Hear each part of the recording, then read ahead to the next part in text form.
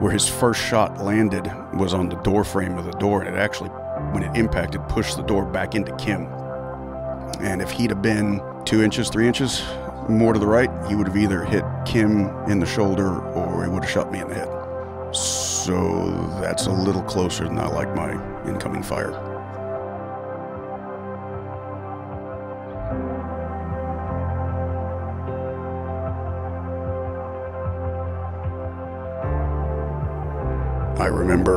Making it home, uh, having to leave my boots outside, walk into the utility room to take off my uniform because it was covered, covered in blood. I walked through to the bedroom and I started to take off my vest and the Velcro coming undone woke my wife up.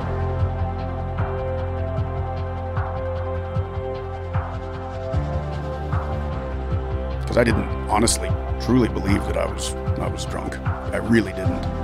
And I got on my way down there to the store. I guess I was weaving pretty good because uh, a citizen called in and said that I was weaving. And when I got to the store, I realized, well, shit, I forgot my wallet. So I was going to drive back home. And uh, I didn't realize it, but uh, police had been waiting on me. And uh, I got out on the street and they pulled me over. Said somebody had called in on me. Long story short, I was arrested for DWI. I'm about to go to jail, involuntarily go to jail. That tornado's coming at you. Your life and career and everything is the lone trailer sitting in the field, and it's coming right at you. You're listening to the ATO Bridging the Divide podcast, brought to you by the Assist the Officer Foundation. Since 1999, the ATO has given assistance to the first responder community. And now we want to give them a platform to hear their incredible stories. We also want to hear the stories of the many people that support us. Our community is small, but it is strong. We have differences. We don't always agree, and we all make mistakes. But together we can grow, we can heal, And we can learn from those mistakes. and together we can bridge the divide.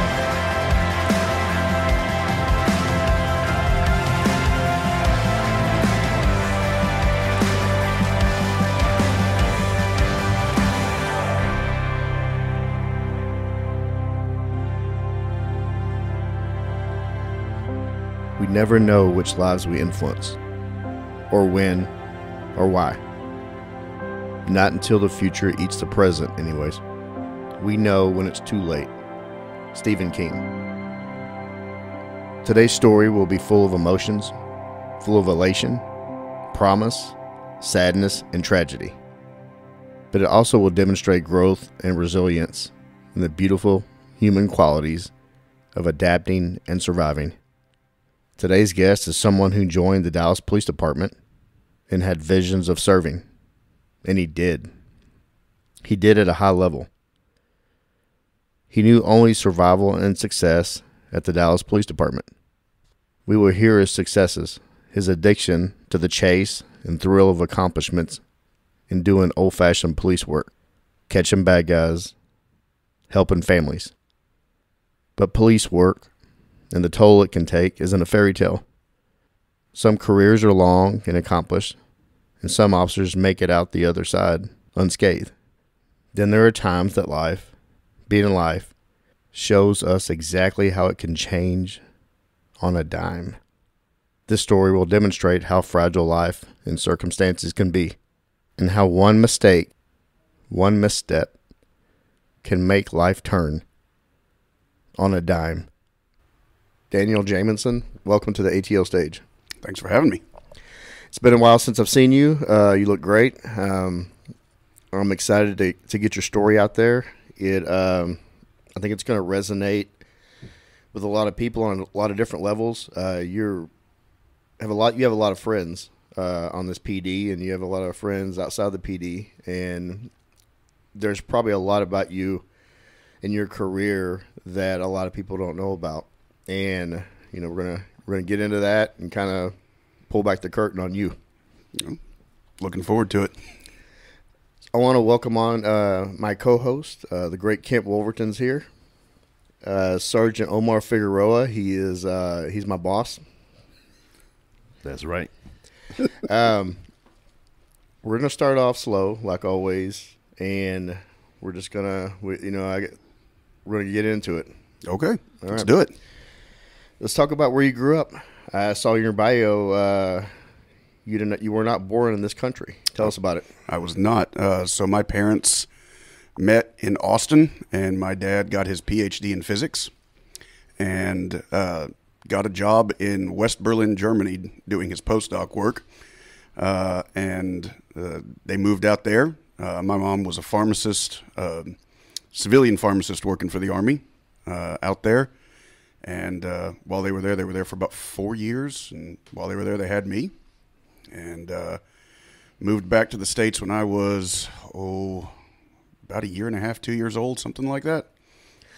So he got his PhD. What did what did he do? Like, He was a physicist. oh wow, Yeah. damn. So he, yeah, he uh, ended up coming back and getting a job at uh, SMU, teaching physics at SMU, and uh, left there and worked for back many years ago. Um, they were building a particle collider here. Uh, it was going to actually encircle Waxahachie, and he he worked there until the uh, the uh, funding for that dried up. Man, that's like that's like some Tony Stark shit there. That's that's impressive. Next level intellect. yeah, how- and how how did you in, in law enforcement with, uh, with uh, parents with that kind of medical fields? Uh, I don't know. It skips a generation, I guess. I guess. so, what was home life like for you when you get back to when you get back to uh, the United States and you're two, right? Yeah, yeah. So we moved um, to Duncanville. My my mom uh, grew up in Dallas. Um, she went to uh, she went to Kimball. My aunt and uncle, I think, went to Carter. Um, so lots of ties to the Dallas area. Um, my grandparents lived just down the road from the. Uh, I don't know what they call it now. It used to be the the Oak Cliff Country Club right there off uh, Redbird, just down the way from that. Um, I know what you're talking about. Is that Frost Farms? uh, yeah, I think that's the name of the neighborhood. Yeah, Yeah, that- it's very- Channel Seven right Yeah. there. Yeah, That's a nice neighborhood. it it was it looks and the last time I was over there, it looks exactly the same as yeah, it it's kind of the Kessler Park uh, of that area. Kinda, really. yeah. yeah, Yeah. My my older brother, he graduated from Carter, and I went to the elementary around there, so I know that Yeah. area very well. I think I, I'm probably going to get this wrong. I'm going to get yelled at by my mom, but uh, I think my uncle was in the first graduating class of Carter. Like they opened Carter um, uh, while my mom was there, and she had the opportunity to go. She was like, "No, I want to graduate with my friends," so she stayed at Kimball. Wow, and, and that's a huge rivalry between Oh yeah, yeah, Yep. bitter. very much so. So you go from from Germany to To Duncanville, Duncanville, Duncanville. which is totally it's it's uh yeah, yeah. you know uh, and I there's went not to- the beautiful country scenery that no, you have in Germany. No, uh, I uh, uh, I grew up there. I mean, I had a I had a great childhood. Um, you know, my parents obviously big into education. Um, I was I was decent in school uh, when I applied myself, Yeah, hey, same here. and uh, uh, ended up um, uh, all the way through ninth grade going to public school there, and then in- Which school? Duncanville. yeah, Duncanville. Okay. Uh, all the way through, uh, went through the ninth grade school there because they have their separate ninth grade because everything's so so many students there. Um, and then they, uh, uh, I had been diagnosed with uh, some learning differences early on, and my parents were able to get me into uh, the Winston School, which is in Dallas, and I ended up graduating from there. That school specializes in kids with learning differences and, and different ways of uh, of adaptive teaching and things like that, and uh, ended up graduating from there. Okay. At what point did you decide to go the law enforcement route? So um, I ended up uh, going to Baylor, uh, met my wife there, um, and we moved back after I graduated in 05. Moved back to uh, to Dallas. We were living up in North Dallas, and I was working uh, at a, a a place that builds uh, uh, sets for operas and plays and trade shows and and uh, you know scenic construction things like that. And I really was not liking the direction that my life was was going. I just wasn't happy, um, you know, professionally, um, and everything was just a struggle. So naturally, law enforcement seems like a like a uh, a, a, a good move. Um, background on that: uh, my wife, her dad was a civilian forensic accident reconstructionist, and he worked very closely with law enforcement. So um, we, she had grown up around cops a lot.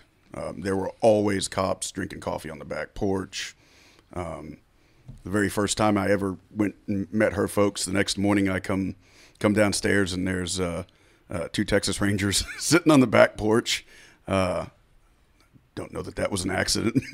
Yeah. but um, so I I got exposed uh, after being with her for a few years to that world, and I'd always kind of kicked it around. You know, it was always just something that was interesting. But then you start hearing the stories, and then you start start seeing kind of what it what it's really like, and you're actually talking to the cops and and listening to them, and you're like, okay, this is pretty cool. And I sat her down one day and I said, "Hey, Dallas is hiring. Like, there's billboards everywhere. There, there's all these hiring bonuses and things like that. Um, what do you think?" And she's like, "Well, the only two things you can't do is be a motor jock and vice." And I said, "Okay." And She's heard the Vice stories clearly. yes, Yeah. So yeah, so the police world sounded a lot more appealing than setting up stage Yeah. props Yes. in, in uh, Yes. the opera. yes. But you did have a, a background in uh, theater, right? I did. Uh, so uh, that's what my degree is in. So I was I was a, a trained actor, um, uh, and so I was. So you could have gone to Vice and done well. I could have, yeah, I could have done the UC work. There, Uh, there, there might be a picture around there where memes were made out of. There, there might be. I appreciate that. That's your fault, by the way. I know. shout, shout out to Sergeant Nash. Yeah, I'd like to see that pic actually. I'll send it. Maybe you can post it. No, Lord. so you're gonna have to put a you're gonna have to put a disclaimer on the on the podcast. we always do. Don't worry. Uh, so you you just saw Dallas is hiring, which Dallas is always hiring Yes. because we because we have a turnover rate here like no other. yes. Did you have prior to hiring on or applying? Did you have any interactions with Dallas PD?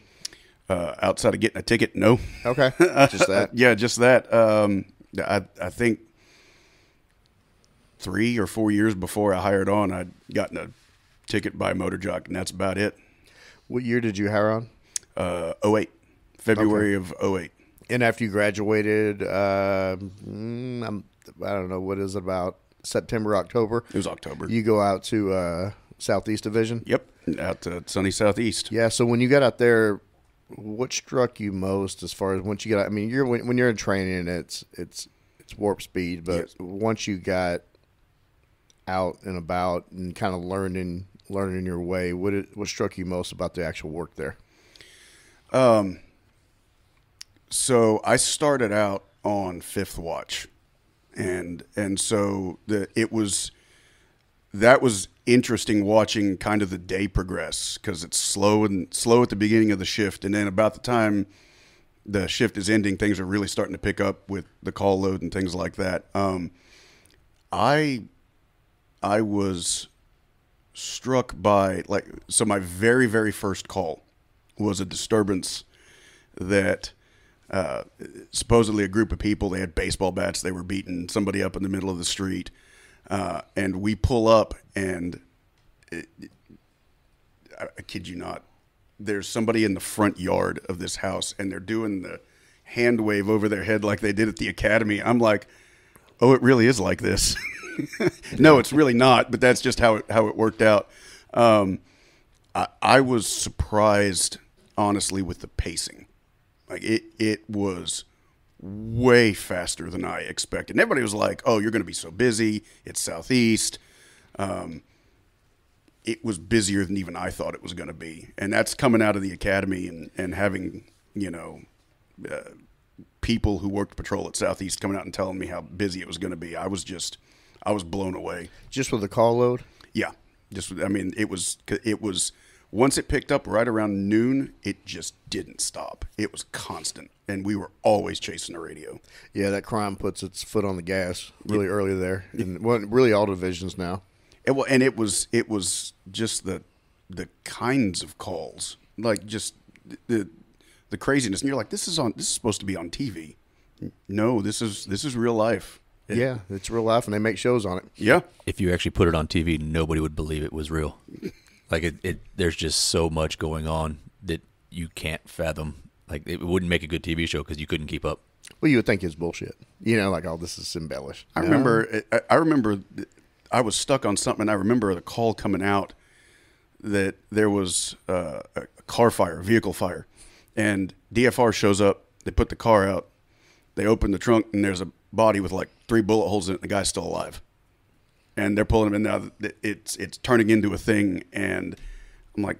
I think I saw that in a movie. No, that that re- yeah, I'm sure I did see it in a movie, but it really happened there too. It's like a mafia movie. It really was, yeah. So you hire out in, in end of 08. You Yep. get out, you get out on the streets, and you know I'm looking at your bio here in uh, 20 uh, 2009 on Masita. Mm-hmm. Tell us about that.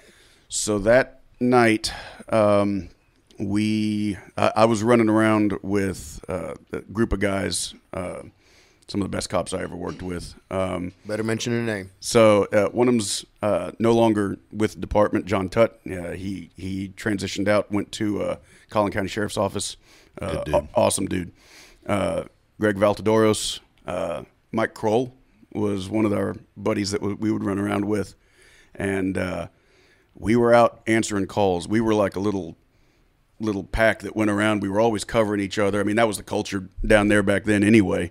Um, so we were always covering each other. And that night there was a probably going to get the make wrong, but it was like a white Impala that was running around uh, committing aggravated robberies, and there was at least two, if not three, in Southeast that night that um, uh, that that we were like, okay, so they, they they- they're hitting, they're hitting again. We're trying to find them, and everybody's on alert, waiting to to find. Everybody's pulling over white Impalas, uh, and then A lot of white down there's a right lot now. of white Impalas. I was like, that's a it's a it's a bad day to be driving one of those down there. Um, and so they had done th- two or three aggravated robberies, and we're sitting there uh, talking after a call, and everyone gets on the radio and says uh, Mesquite's in chase with a white Impala. They just committed an aggravated robbery in Mesquite. Shots fired at the offense, and they are coming down. I want to say it was Bruton, and we were at Masters and Bruton, and about the time they said they're coming down, here comes this white Impala through the the intersection. Sparks, you know, it does seventy right through the red light, and Mesquite's right on them. And we're trying to figure out where where they are. Air One's trying to call it, and they bail out. And um, so before we, we get into that, I'm going to back up just a little bit on that. Um, that day, one of the uh, uh, there are chaplains uh, that are DPD chaplains um, that are uh, are there. I, I, I, I assume y'all work with them in Yep, in, yep. The, in the unit. Um, so one of the chaplains that day, his name is Mike Middlebrooks. Um, he was he always rode out with uh, uh, Greg and John, and uh, that day he decided he was there. He wanted to ride out with me, and so we were going through all the all the the the pre-checks, telling him kind of how I did things, and you know we were gonna hang tight with him too, but you know we might get pulled off, and. um he was getting to know me a little bit better, and he goes, "Have you been in any shootings?" And I was like, "No, not yet." and about seven and a half hours later, we're on the ground with ag robbery suspects, and one of the guys that ran ends up on the front porch of this house on Mesita uh, that is unrelated to him completely. And all of a sudden, we find ourselves there, and he's got a gun to his head, and uh, we're we- have people up front that are talking to him. Hey, man, put the gun down. You know, you don't want to do this. Put this down. Well, he ends up getting on his cell phone and calls his mom, and he's telling his mom on the phone, "Mom, I didn't do anything. I don't know. I, I don't know what's going on. I don't know why. You know, I, I didn't know what was going to happen. You know." And I'm sitting there in my mind thinking, "Why do you have a gun? if you didn't do anything?" Were you just then hauling ass from police? Yeah. Um, and uh, he starts saying things that are not good, like "Tell my kids I love them, Mom, I love you," and he's rotating the gun from his temple to under his chin, and he keeps doing that as he's talking. And about the time he's done saying, "Mom, tell my kids I love them, I love you," he drops the barrel of the gun and points the gun at the officers there, and we end up in a shooting. Did you shoot? I did. Okay. Um, so suspect goes down. Was he he was by himself in that car? Uh, no, there were other people in that car with him. He he was, I think, he was one of the backseat passengers. I think. Is he the only one? Everybody else got out and fled, and he's the only one that kind of got barricaded, or how'd that look? Uh, he- yes, I think everybody else. Um, all the other parts of that are a little bit of a, a blur, but I think he's the only one that got up and got barricaded. Everybody else was taken into custody. Okay. So, walk us through your emotions on that. it was I remember I remember the the the the gun going off. I remember firing and him dropping and it was that that just happened. Like I just you know, I really did just get in the shooting and um you know, we we approached the suspect. Um, they rolled him over and he was um, obviously deceased. And then you're you're sitting there, and the standard procedure is you go and you know they put you by yourself. Right now, there's a criminal investigation, and that you go sit in the car. Well, I go back to my car, and uh, I'm, I'm sitting there with the chaplain, and he goes, "Are you okay?" Because he had heard all the gunfire. He goes, "Are you okay?" I said, "Yeah, I think so." And he goes, "Did you shoot?" I said, "Yeah." You jinx me. Yeah, uh, you know, as uh, being as far removed from it as we are now, I can I can joke about it. But I looked over at him after about thirty seconds of silence. I said, "This is your fault. You know that." Yeah. And Poor uh, Mike. Yeah, but uh, uh, he he was there. Um, you know, trying to be a comfort to all of us. He even you know he even the the mom had shown up. She was around the corner on the phone with him, and so he was there with her, uh, trying to be a, a comfort to her. And it, it was it was um, looking back on it, I was really lucky to have him there that night, just to kind of not be by myself because you know at at the end of the day, I was in a shooting and now a guy's dead. Like that's not an easy thing to to, to sit with by yourself. No, and per the protocol, we usually have like a companion officer. Did you ultimately get a companion officer? That that uh, Chaplain uh, Middlebrook stay with you? Yeah, he he pretty much stayed with me the whole night. and you didn't get another officer like I didn't honestly. Yeah, per the protocol, you get one. I didn't actually ask for one because Mike was 'Cause just he was saying- there with you. Yeah, he was he was there, and I didn't uh, I didn't feel like because he was there that I needed an, another officer. Um, he he did a great job that night.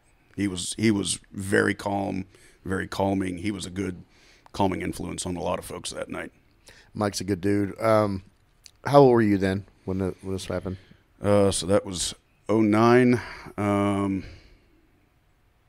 you're making me do math. Uh, I was 27, I think. Okay. So as far as you know, every every time there's an officer involved shooting, there is a criminal investigation. and That's that's standard. Yes. and it ultimately gets presented to the grand jury and and so at the time I can't remember in 09 how it looked but uh, as far as city the Dallas Psych Services how'd that look as far as what it looked like as far as taking care of the, and you can be honest, taking care of the officers uh, that were involved in something like that. So that was a first because there were so many officers that had fired um, on that on that deal. Um, and uh, per the protocol, I had to go um, see uh, one of the, the, the city psychs um, before they would let me come back. And I remember I went in, and I don't remember who it was that I saw, um, but I was probably in the office for less than 30 minutes. And uh, I was, you know, it was, he asked how I was feeling about it. I said, you know, I'm, you know, shot somebody. Um, he's, yeah, he said, well, you know, I mean, he pointed a gun at you. That's n- not a lot of responses other than that to when somebody points a gun at you. Um, and it, it took, yeah, maybe, maybe 30 minutes and I was, I was out of there. He said, uh, seemed fine. When you were going through like that, there is a there is a checklist of things you have to do before you go back to the uh, after an officer involved shooting, even going your gun is taken away and you have to go and get a new gun and qualify. You know, so there's there's a lot of things you have to do to check off a box. Did did that seem like a just another one of these things? Yeah. Okay. It, it, it, it was, I mean, obviously they want to, they want to see, cause if you're really struggling with it, there's going to be, you know, they may make recommendations, but if you don't seem, you know, I was, I was young. I was still a rookie. I wanted to get back, back to work. So I'm also personally like, I'm, if I start saying I'm struggling with something like, they're not going to let me go back to work. And it wasn't the culture either. To No, do no. it goes against the culture. Very much so. Very, very much so.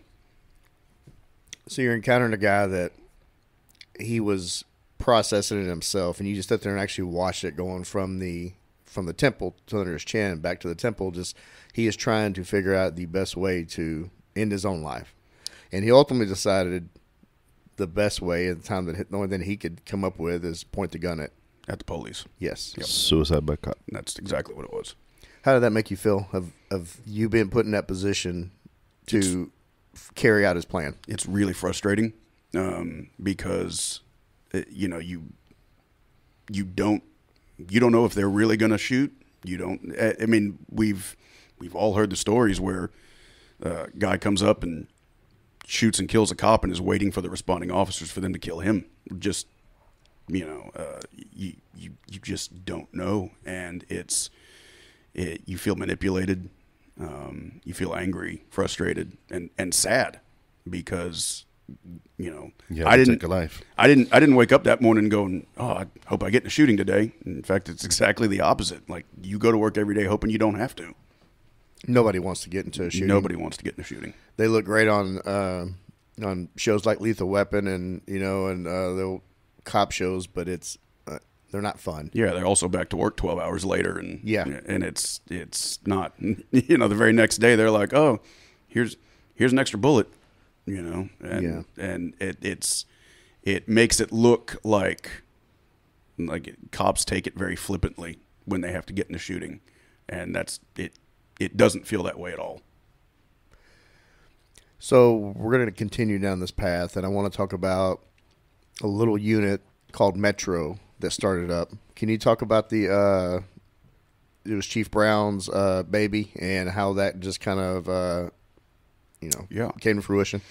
So, summer of 2012, um, there was a summer crime initiative, and they had a violent crime task force that was formed. Um, I got uh, asked to go over there and, and be part of that, and it was a citywide crime initiative, and they had done a bunch of these before. This was this was nothing new. This this summer crime initiative there were a lot of lessons and they were very interested in asking us and you were you were part of that that summer one right Yeah. were you there yeah that was. so uh, there was a bunch of us there for that summer one but i remember them saying uh, v- they were very interested in how what didn't work like what we didn't like what we what we felt we needed. And that was that was new to me because the department didn't typically ask those questions. And so um, i started hearing rumors about some new task force being spun up, um, I went back to Northwest Patrol. Um, I think it was end of August, beginning of September, and uh, about November, I get a phone call. It was like, "Hey, do you want to come join this new task force?" They're Who gonna- called you? Do you remember? uh, I think it was Tom Castro that called me. Tom Castro. Tom Castro called me. I Shout was out Tom Castro. He's Shout out to him. Yeah, just, just retired. retired, yeah. Yeah. Yeah, he was a I he didn't was know a, that. he was a class behind me. He he just retired in January. Uh, th- he is he is that is definitely a loss to the department. He's he is an awesome dude. Yeah, I would have. I would have followed that guy into hell. Um, and he, so he calls me, and he was like, "This is going to be uh, like a a big, like a big task force, three different shifts." Um, and I 150 officers. Yep. 150 officers. They were working 10 to 6, 10A to 6P, 6P to 2A, and 8P to 4A. And I got asked to go to the 8P to 4A side. And uh, I, I tell you, I, it, we got there. We had citywide authority. We were chasing crime trends. We were chasing uh, wanted suspects. It's the first time I ever worked a, a, a warrant, you know, from start to finish. Just the, pulling the intel, looking looking for a uh, my sergeant. Uh, Eric Morales was my sergeant at the time. Um, him shout out to to him and to Sergeant Nash. They used to be partners, um, and he uh, he handed me a warrant. He goes, "Hey, can you?" Uh, hey, can you uh, uh, look for this guy? You know, I had a, I had a detective call me, um, and uh, I remember looking for him, and uh, I don't I don't know how deep you want me to get into the story on it. It's your story. Um, I remember reading the probable cause affidavit, and this guy he had uh, aggravated sexual assault of a child and ag assault, deadly weapon, family violence. Um, he had uh, sexually assaulted the daughter of his girlfriend, who was uh, mentally disabled, and the mom figured it out. She was nonverbal. Uh, the mom figured it out, and when she confronted him, he held a knife to her throat and threatened her, and then fled. Um, and the detective, um, I guess, had what he needed, filed the case, uh, filed the warrant, uh, and I think the warrant had been sitting there for about six months.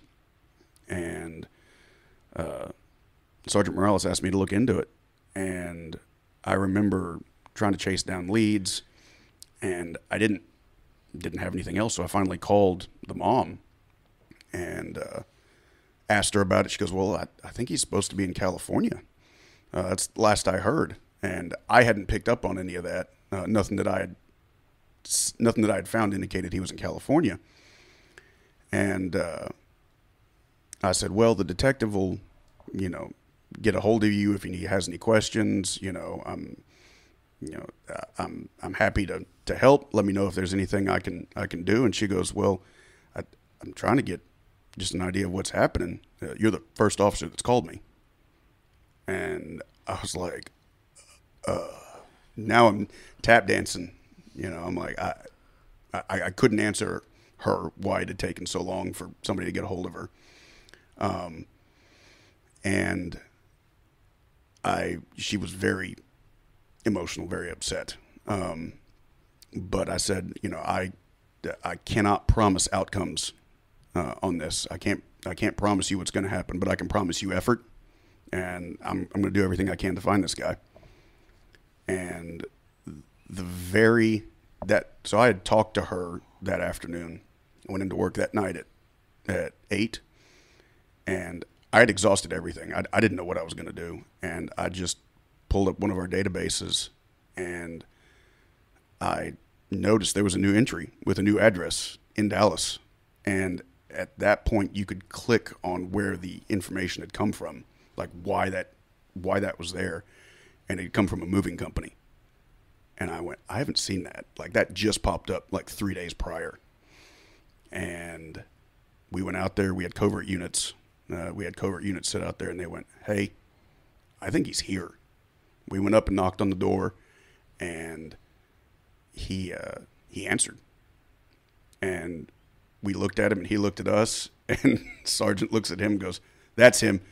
And we grab him and take him into custody. And I remember calling Sergeant Morales, and I was like, "Hey, we got him," and he was ecstatic. And I booked him into jail, and I remember the next morning uh, calling her and saying, "Hey, we got him last night," and she just broke down, and she was sobbing and crying, and she goes, "I was praying that that y'all would find him." Um, she goes, "I know it doesn't, it, it probably doesn't seem like much, but I'm going to be able to sleep for the first time in six months tonight. That that he's in jail, and I mean, I remember hanging the phone up, and from that moment on, I was I was hooked on hunting warrants. um, Did you typically get that same feeling when you arrested people, or was this one one that you got more invested in? I got more invested in this one. Um, it was it was a pretty graphic probable cause affidavit, and uh, it it became kind of like that one of those white whales that you're looking for, and you just can't find them. We had plenty of those. Oh yeah, A lot of times, especially early on in your career working patrol, you'll see somebody or you'll arrest somebody for a warrant, but you don't really know the entire story on it. You know, you get some pretty graphic warrants. Just the title of the offense is sometimes is, is enough to turn your stomach, but to actually understand what's going on, to talk to the victims and then go out and arrest people, that it's rare, right? It, not everybody gets an opportunity to be in a unit like that. But then once you do and you realize that, hey, I can actually help people and I can do some things here, man, that that's one of the one of the, the big things about this job that makes it worth it. What really shows you the intel mining that's behind just just that's beyond the normal going out answering calls and a re, uh, and being reactive to cleaning up somebody else's mess messes. You're still going out and you're having to put building blocks. Your detective builds builds up a case for get probable cause to issue a warrant on a on a suspect, but then they could be in the wind for weeks, months, years, and and like you said, this this one little entry from a moving company kind of led you in that direction. And there's that's how it works. You just have to put building blocks, and you have to do a lot of work behind the scenes, and you strike out a lot too. Oh, and yeah. and you just have to keep you have to keep going with the bat, keep swinging the bat, and you can, you know, it could work out like this. So the thing about patrol is as rewarding as it can be and and you know you you never know what you're going to do that day that that that you know changes somebody else's life changes your life. But there's for as different as every day is there's a lot of repetition. And you can arrest the same people. You can answer calls at the same houses same disturbance. I mean it's just there's a lot of repetition especially in a big busy urban environment like dallas. Um, and you can get burned out. I know they talk about the five year burnout and all that stuff uh, but you you can get burned out pretty quick. And when i went to metro that was kind of the culmination of everything every cop kind of wants to do because you're not subject to you know going after the the loud music complaints and the panhandlers and all that stuff. You're focused on bad guys you're focused on chasing crime trends you're being tasked with going to these areas uh, you might be being put in plain clothes to go do covert work to look for specific uh, robbery crews uh, and uh, or look for specific robbery suspects, break up robbery crews, things like that. Um, and it was, it was just every day was fun. Every day was, was even if you were just chasing warrants every day, it was, you were putting bad guys in jail, and they were all violent. They, weren't, they weren't, you know, ticket warrants. You weren't cleaning up city ticket files. You were going after violent felony offenders. So, so the you know acronym for Metro was Measured Enforcement Targeting Repeat Offenders. That's right. And it was such gratifying work, man. I mean, especially the ones where you'd see on their social media, uh, basically issuing us a challenge to catch them. You can't catch me. Mm-hmm. Yeah. Oh, challenge accepted. We're we're gonna get you. Yep. Chuck Chuck Young was involved in that, right? He was, yes. Yeah, he he uh, he asked me to go to the Metro unit back whenever it was being started out southeast, but I was pretty embedded with the because Chief Elsie, I believe, also that was her. Mm-hmm. Yes, that was her. that was hers. That was her baby, and she Mhm. was uh, she was my deputy chief. But yeah, Still a picture of her up on the wall in, in uh, Fugitive. Yep. no, Tammy Elsie's amazing. I love that's one of my favorite chiefs to work for. Chuck Young's pretty amazing too. Chuck Young, shout out Chuck Young. He listens to these uh, now. Victoria PD chief Chuck Young. That- I'll bet that's right. I forgot about that. He's still sticking his head in windows looking for bad guys too. Oh, that guy. And let me, you know, I, I want to get him on this show eventually, but that's another story altogether. Hello. So yeah. So Metro ended up becoming the fugitive unit. Correct. Okay, and you're you're doing this type of work, and you're seeing the challenges, but also you're seeing the the great use of technology and that you can utilize to find suspects Oh, and yeah. to find trends, and it, it's beyond just being directed by the you know soup du jour 6m uh, Yes. our famous disturbance uh, of the day that you have to go multiple times or a random drug house call that, that pops up every other day on you know on uh, Grand Ave Yeah. you know so it, it it also can help you develop niches in utilizing these tools did you find yourself developing a niche So I uh, I ended up uh, falling into helping develop kind of the electronic surveillance side of that, like phone pings, um, doing uh, uh, stuff with uh, social media, things like that. I became kind of adept at at doing some of that. I got uh, to work very closely with some of the, our, our federal partners. Um, shout out to Renee uh, at uh, Secret Service. Um, shout, Boricua. shout out to Gary McDonald at the DA's office. That guy. Oh Uh, we've talked about Gary before. He he's like a he literally is like a a computer with arms and legs. He he's is. just the most intelligent people I've ever been around. And it was i remember so this this kind of you know the, the phone pings and and it, we were always able to do that um, a lot of that stayed kind of within the federal task forces um, you know if you needed a phone ping for an emergency you'd call fusion fusion would would do all that stuff That'd be U.S. Marshal Task Yeah. Force. Would be fast team would be on Yep. that. Yeah. Yep. And uh, I mean, they, they the the Marshals Task Force guys, they were the experts. Like they were, uh, in, in many cases, had written the book on it. Um, but I remember we had gotten, we'd kind of fallen in with with Gary being that uh, kind of advisor to us, and man, we we just started, you know, we started looking for these bad guys, and it seemed like every time we would develop this new technique, here'd come this new bad guy that we would be able to try try this new technology on. So we got extremely good um, working with not just the DA's office, but our uh, federal partners, uh, and we we would we had I want to say Fig, you could probably back me up on this. If we decided to chase you down and we employed these technologies, we had pretty much a 100% capture rate on you. Absolutely. And It was amazing. and I got I got very good at, at developing patterns of life um, with I got very good at developing patterns of life uh, for people looking for them. And you would do that. Um, you know, I could historically um, myself or Renee, we could put you in a building just based on your call history. Uh, it was uh, it was just insane. And I remember one time the map showed a little dot where the phone was.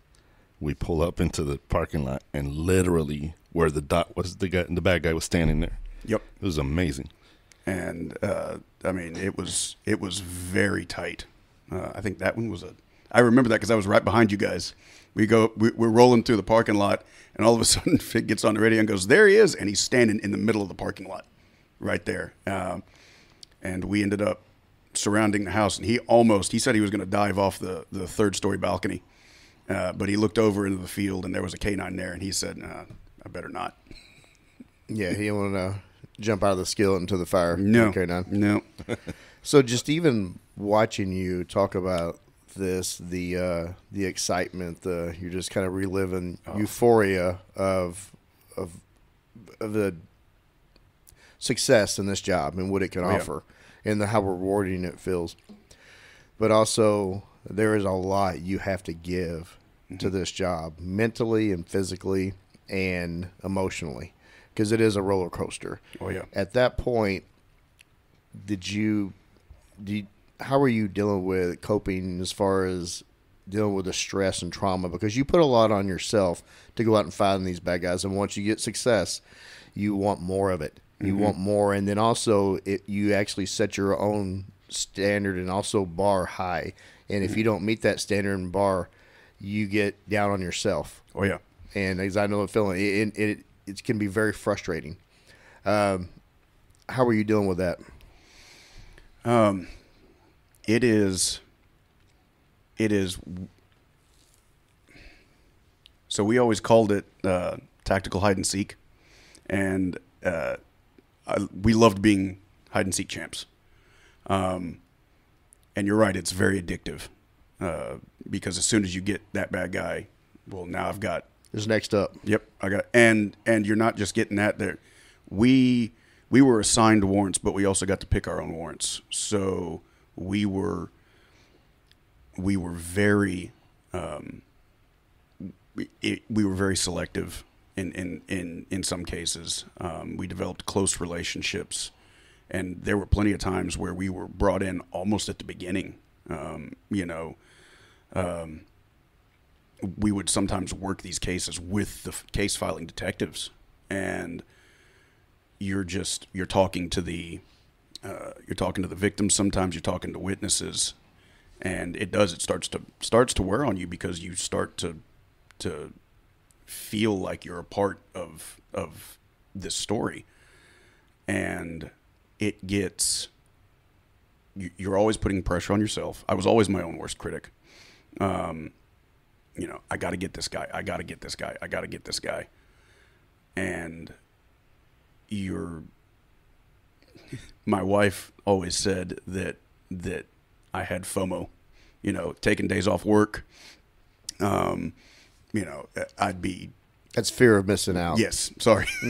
uh, you know, if I took a day off work um, and and we had, you know, the the the city phone apps would start going off, I'd be getting in text threads and I'd be checking it, and she's like, you know, you're here, you know, be here, you know, you're you're supposed to be on a day off, and you get so invested and you get so, um, you get so uh, uh, invested. I guess is the is the best word for it. That that you you can't stand not being a part of it. And I I had a real struggle with letting work be at work. It didn't start out that way, but uh, you know, the the more you're into it, you know, oh my guys are running this big warrant today. You know, uh, uh, you know, I, it's not that I didn't want to be at home, but I didn't want to miss out. It's intoxicating. It is. It's, it, it is. It is very intoxicating, very addictive, and and on top of that, there's there's that that nagging voice in the back of your head that okay, so they're going to run this big warrant today. What if something goes wrong? What if something happens to one of my guys and I'm not there? Like that is that is the the gut punch that that you know you, don't want to think about, but you know It's also it's hard, uh, and it, this is a great example of of uh, Officer Daniel Jamieson as opposed to being Daddy Jamieson or husband Jamieson, right? Yep. It's really hard to flip that switch and and straddle that fence to to pour into both sides. Well, you know, that's one of the things about being a cop, uh, first responder in general too, but I think cop especially is, you know, what do you what do you do for a living? Um, I work in insurance. What do you do? You know, I I'm I, I do accounting work for this company. What do you do for a living? I'm a cop. I, I mean, that's that's what you are, and unfortunately, you don't get the, you know, as cops, we don't turn that off when we get to the house when we get to uh, the restaurant when you're always sitting with your back. You know, you, you have to face the door. You you have to sit in the back of the restaurant. You know, yeah, that's kind of cliched to, to say those things, but it's very real. It's very real. Hyper vigilance is is all too real. and it doesn't it it it doesn't start out that way, especially as a rookie. But when you've gone through enough things, you start to develop kind of that the hair on the back of your neck starts to tell you, hey, something's something's not right, even if you can't tell what it is. Um, and it constantly being switched on. Well, you develop in intuitive traits, Mm-hmm. just like you develop skill skill sets to hunt, Yep. right? And it, it's it's hard to, and, and like I said, you know, success is intoxicating. Success is it makes you thirsty for more, Mm-hmm. and it's hard to it's hard to think about anything but that because I'm sure there was a lot of times when you're off work and you're with the family, and you get a call from somebody that you work with, you you know, it was that FOMO. It was Yeah. the fear of missing out, and it's hard to give all to the family when you really are concerned about your team, the next lead on the warrant, Yep. right? And on top of that, you know, you're, you know, as a as a detective, you know, yes, you're off, but you're not you're not off. And so when, you know, DPD being so big, uh, I, I'm sure it's this way at smaller departments too, but especially at DPD, you know, the homicide detectives had no idea that I was off that day. It's not there's not a, an email chain that goes out, so I'd be, I'd be, you know, at lunch with my family, and I get a homicide detective call my city phone uh, because even when you're off, you're carrying your city phone around um, because you never know what's going to happen. You may have to come in, and Which happened plenty of times. which happened plenty of times. And so now you're when you're supposed to be with your family, you're talking about a homicide that happened five hours ago, and well, I'm not at work today. How about you call Fig? And uh, he, I know he's at work, um, you know. And then there's the thing of they're about to run a homicide warrant. You got the call, but you're at home now. Fig's going to go run the homicide warrant. And there's that FOMO, and it's it's it's frustrating because you know as as a dad as a husband i you know in your in your head you're wanting to be there. And it's just it's like that elastic rubber band constantly pulling you back and you're fighting against uh, fighting against it. And uh, it it gets not just frustrating for for me but for you know my wife for my kids. You know daddy do you have to go to work unfortunately yes you know I want to get into a date that's that's really just it's always going to haunt this city. July 7, 2016. Can you walk us through uh, your your day from your perspective?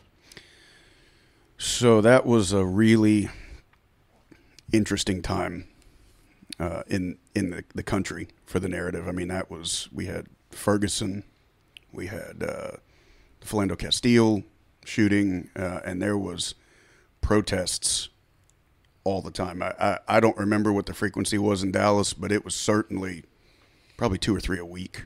Um, and police brutality uh, protests. Um, I'm sure you know that better than better than anybody.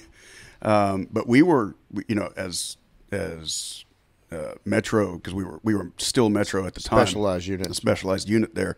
We were. I don't want to say we were at every protest, but we were at a lot of them. And We're always on standby. yeah, for we sure. were always on standby. And oddly enough, the night before, um, my wife had been texting back and forth through social media with some people that we knew, um, and they were having kind of a heated, heated conversation, heated argument. Um, nobody was listening to anybody. She was trying to get her point across about how dangerous things were and how she was worried about me, and uh, it just wasn't wasn't going well. And I was like, just stop. Um, and she was she was so frustrated and she was scared. Um, and that night she was like, I I know something bad is going to happen. I can just feel it. And I was like, it's fine. Don't worry about it.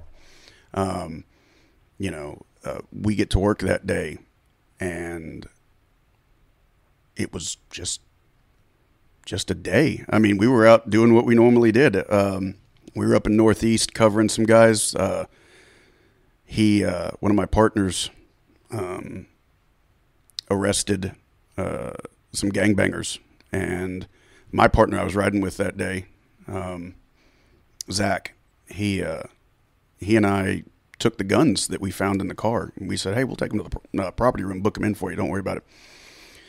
And while we were kind of heading that way to the property room, I'm messaging with a friend of mine, and she sends me a message. She goes, "I, I want to go to the protest tonight, but I'm I'm kind of scared." And I said, "What protest?" And she says, "Well, there's a there's a protest tonight," and uh, you know, she was afraid that that either the police were going to overreact or something bad was going to happen. And there had been plenty of CNN, you know, Fox News stories. Just You could- building it up. Yep. And you could see that, you know, the protests were getting kind of violent.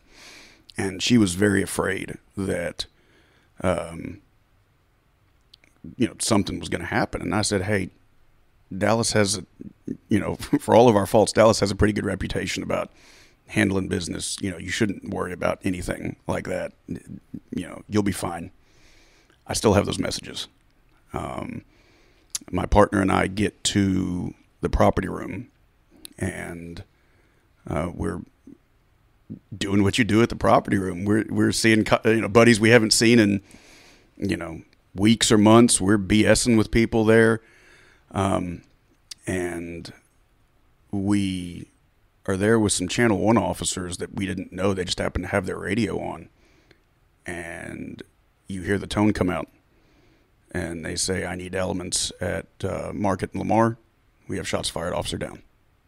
And we look up, and the lieutenant is who's there at the property room just looks at us goes, "Go, just go." And you know we're that day. Zach is driving that day. I I don't know how he threaded the needle, but he was probably doing 70, 80 miles an hour down Elm Street, heading that way. And we had switched the radio to Channel 1, and it was just chaos. Um, you know, uh, we, you were there. Uh, I mean, it, I, I can't, uh, I can't describe, you know, we were hearing reports of snipers, multiple shooters, Multiple shooters. garages, and and just didn't know. and we were hearing calls about more officers going down and i remember thinking like it, it it's not it can't be what i'm hearing on the radio and we pull up to um, elman lamar and zach stops and he's he's hollering he's like which way do we go left or straight you know left or straight left or straight which way and i go go left. I'm looking, and as soon as we pull the car around the corner, there's officers laying in the middle of the street. And both of us at the same time just go, oh my God. Um, and we pull up right there in front of um, what turned out to be the suspect car um, and bailed out. And uh, Zach goes to one of the downed officers, and I laser in on another um, another group of officers trying to load uh, an officer into the back of a squad uh, back of a squad car, and I jump in and I'm starting to try to pull him in, and I think at one point I'm like, "Hey, help me out," because I didn't realize you know, that he couldn't. Um, and we're working to get him in, and finally I grab him by where his vest is, and I pull him in, and I fall back, and I, his head lands in my lap, and I look down and I go, "Oh shit, I know him," and it was Patrick Zamarripa. And I look down at him, and the doors start to close, and uh, I can't remember his name now. Uh, Sergeant jumps in the front seat and starts to try to drive off, and I look down at Patrick and he was gone. Um, now looking back, he was gone. Um, at the time, I was I started doing CPR. I started talking to him, um, and just you know saying, "Please don't die, please don't die on me." You know, talking to him, um, and we made it from where we were to the ER at Parkland. It's a long time when you're doing CPR. Um, seemed seemed like a lot longer, but uh, less than five minutes. I mean, he drove the wheels off that car, getting us up there. Um, I, I know we were doing probably 100, 115 miles an hour, northbound 35. Um, certainly over 100, 115 easy. And um, I remember pulling into the ambulance bay and just screaming, like, hey, you know, we need, you know, get somebody out here. Um, and they were, they were as surprised that we were there as, as we were to be there. Um, but that, that, it was like ants coming out of an ant hill.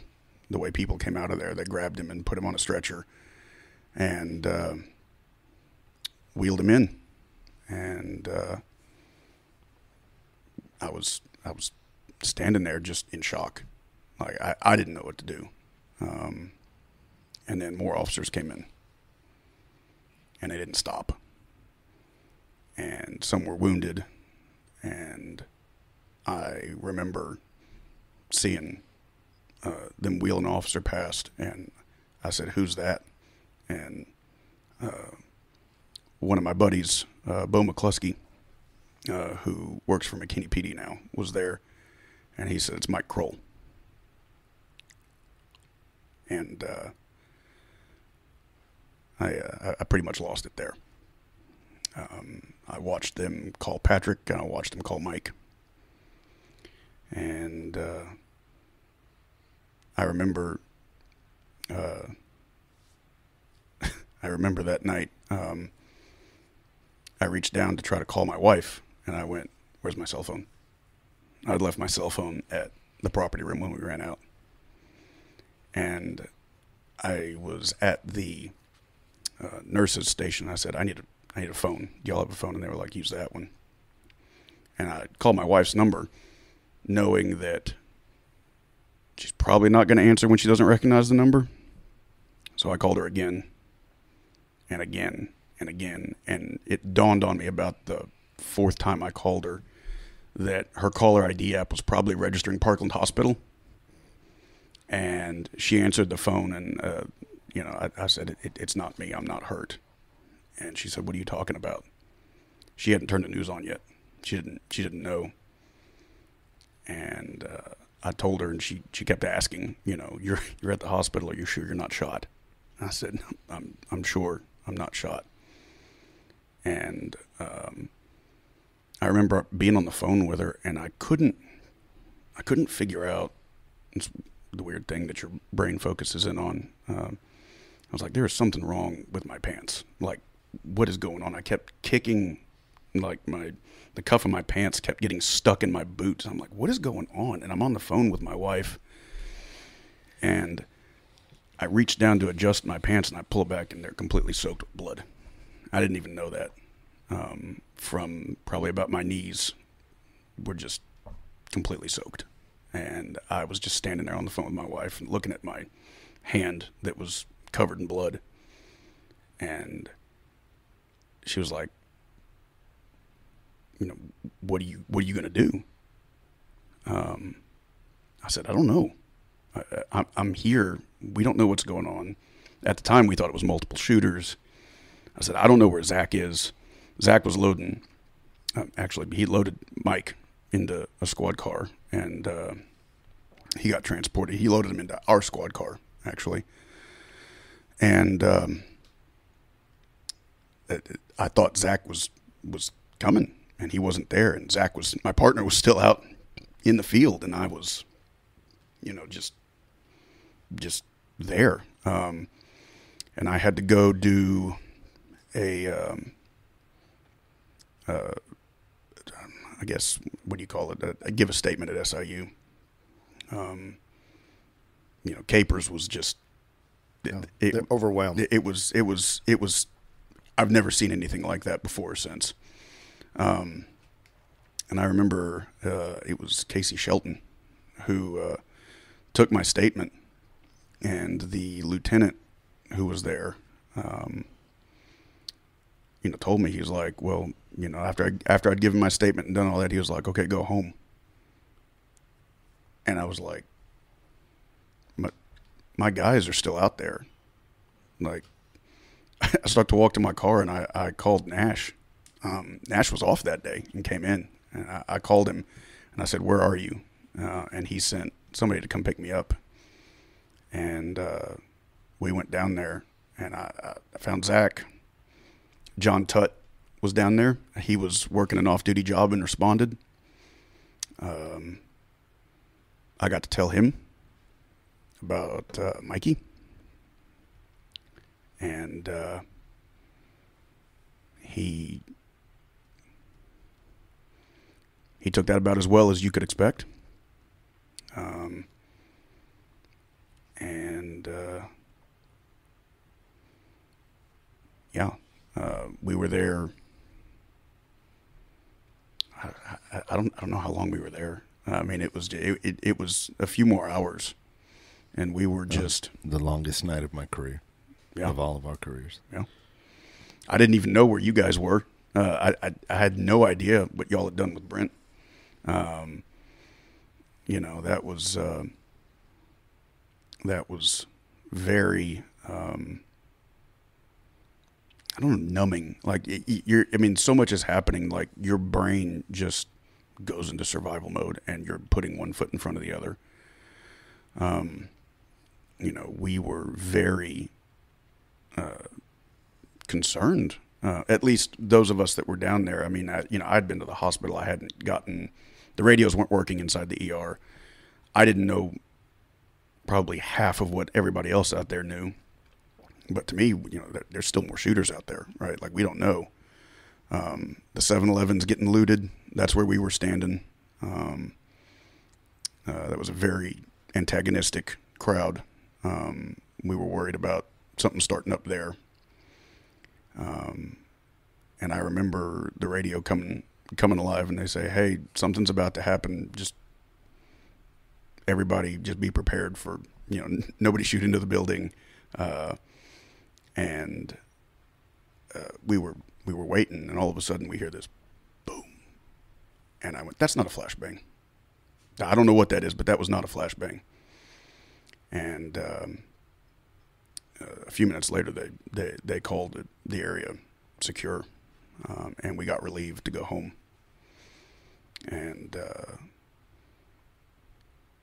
I remember just driving home, and you know, hands at hands at nine and three, just driving, not a no sound, no nothing, and just kind of in shock. Um, and I remember uh, making it home and uh, having to leave my boots outside and uh, walk into the utility room to take off my uniform because it was covered, um, covered in blood. And uh, I walked through to the bedroom. I started to take off my vest, and the Velcro coming undone woke my wife up. And that was, she got up and she hugged me. And uh, I've been with her now uh, 21 years.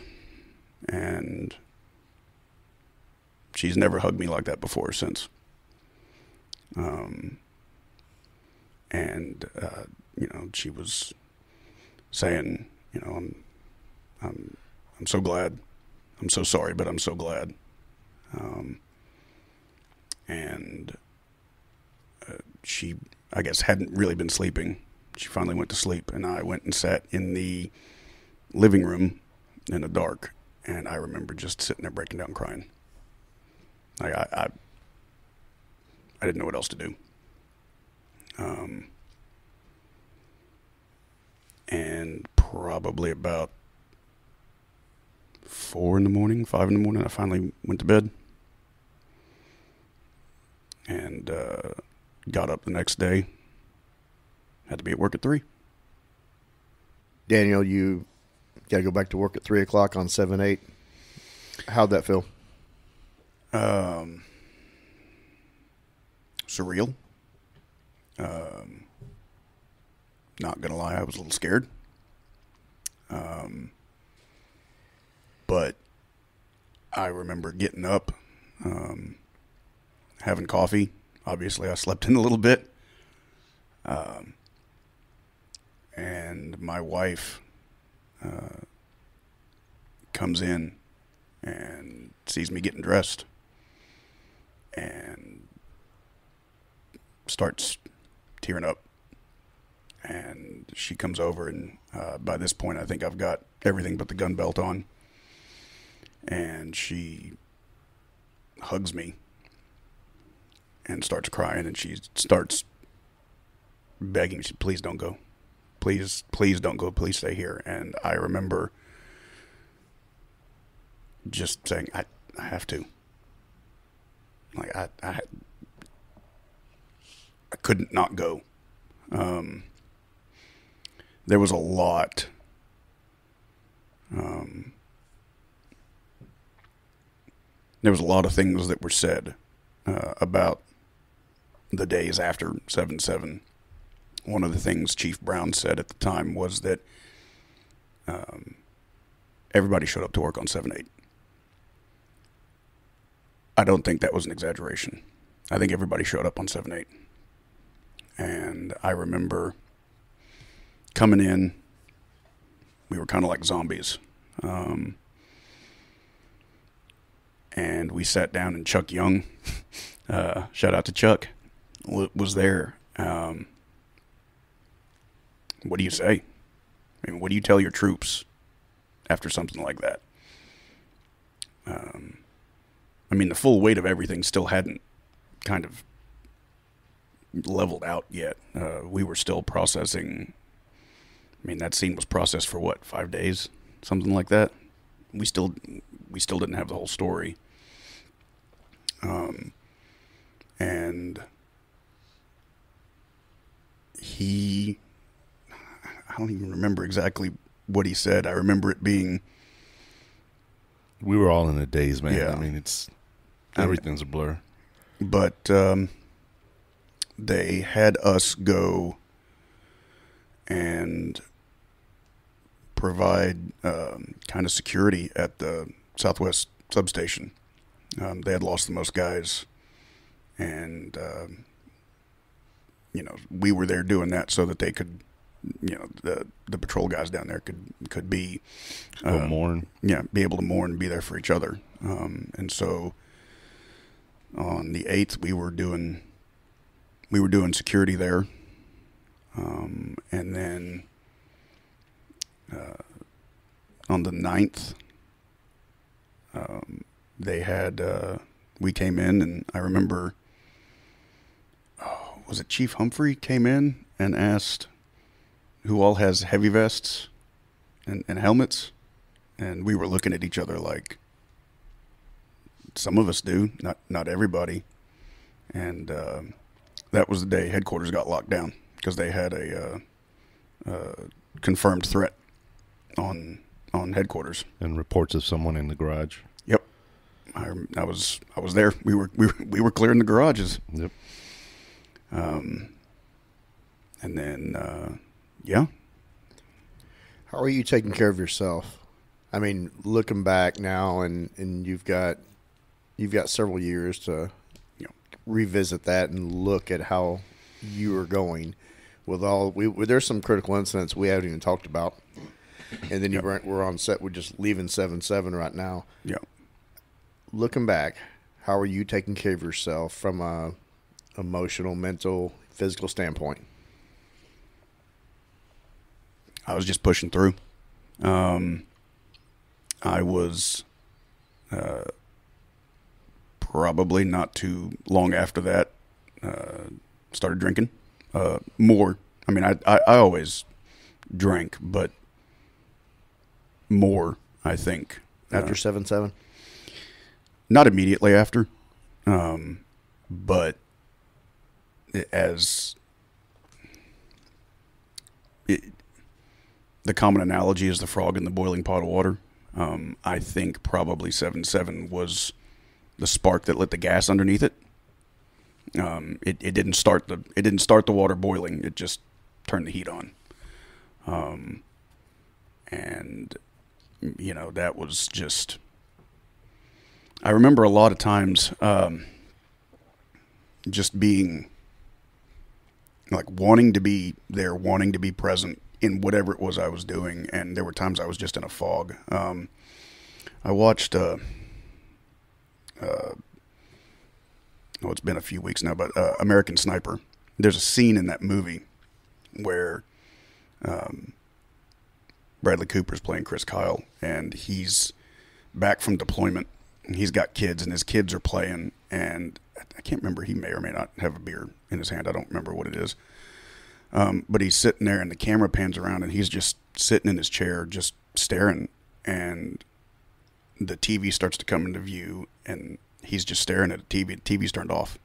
He's just staring, and I saw that, and I was like, "Man, that's that's a little too real." Um, you know, um, it, it wasn't all the time, but there were times when I would just be not there. Did the drinking help? Well, that's the sinister thing about alcohol is you know, it it works um, until it doesn't. um, but it it it it did a little. Um, you know, as much of it as was habit. You know, I'd get home and have a drink, have a beer. Um, it uh, uh, it was um, it became an effective habit um, at, at at certain points. Um, you know, and at that point, I wasn't I wasn't drinking a lot. It just it was. How was it effective? What what was it that you were looking for? There came a point where, and I, I don't know how else to describe this, but your brain gets really loud. Uh, n- not like hearing voices or anything like that, but it's just it, it It's, it's the thoughts. yeah, it's it's just loud and you can't turn it off, and it works to kind of quiet some of that down. Um, and you know, you're stressed and you're just amped and just you start to.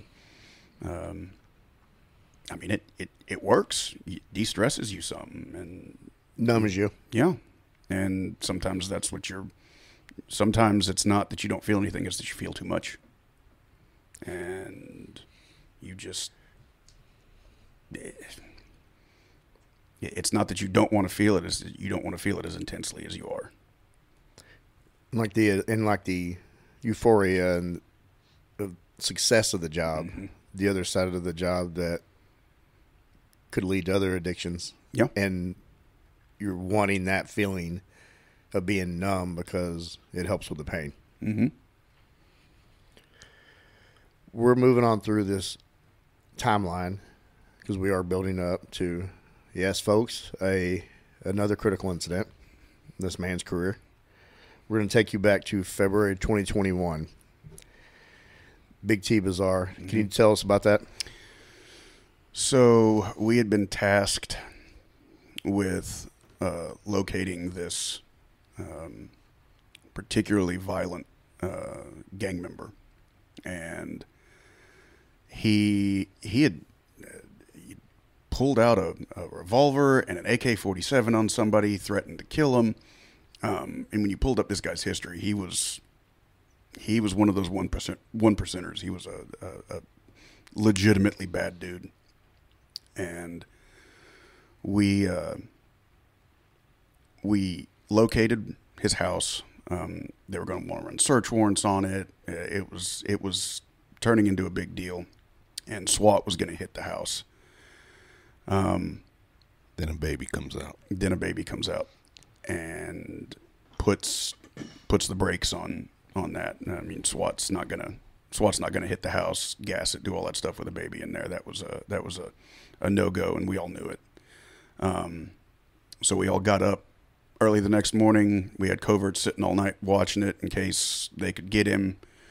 Um, we come in early the next morning, stage up, um, and he ends up getting mobile in a car.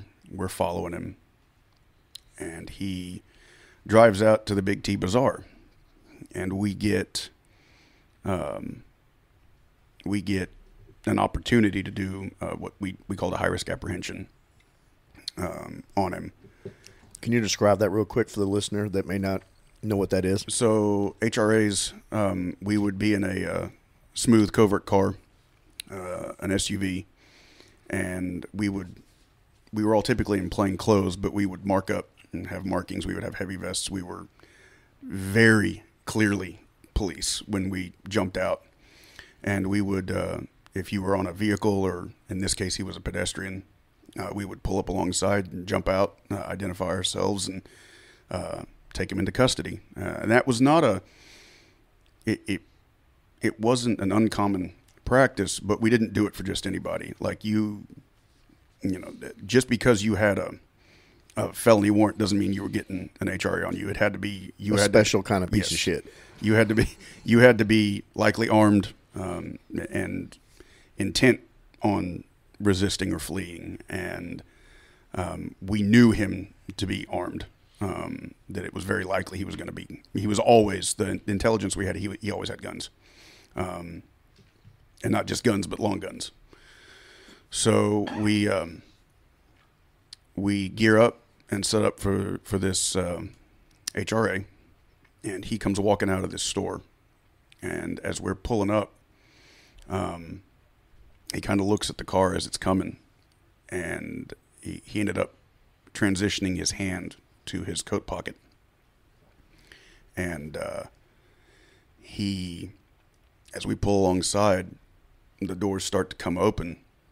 Um, I'm in the um, Seat three. seat three. So seat three is the rear uh, driver's side. So I'm sitting right behind the driver.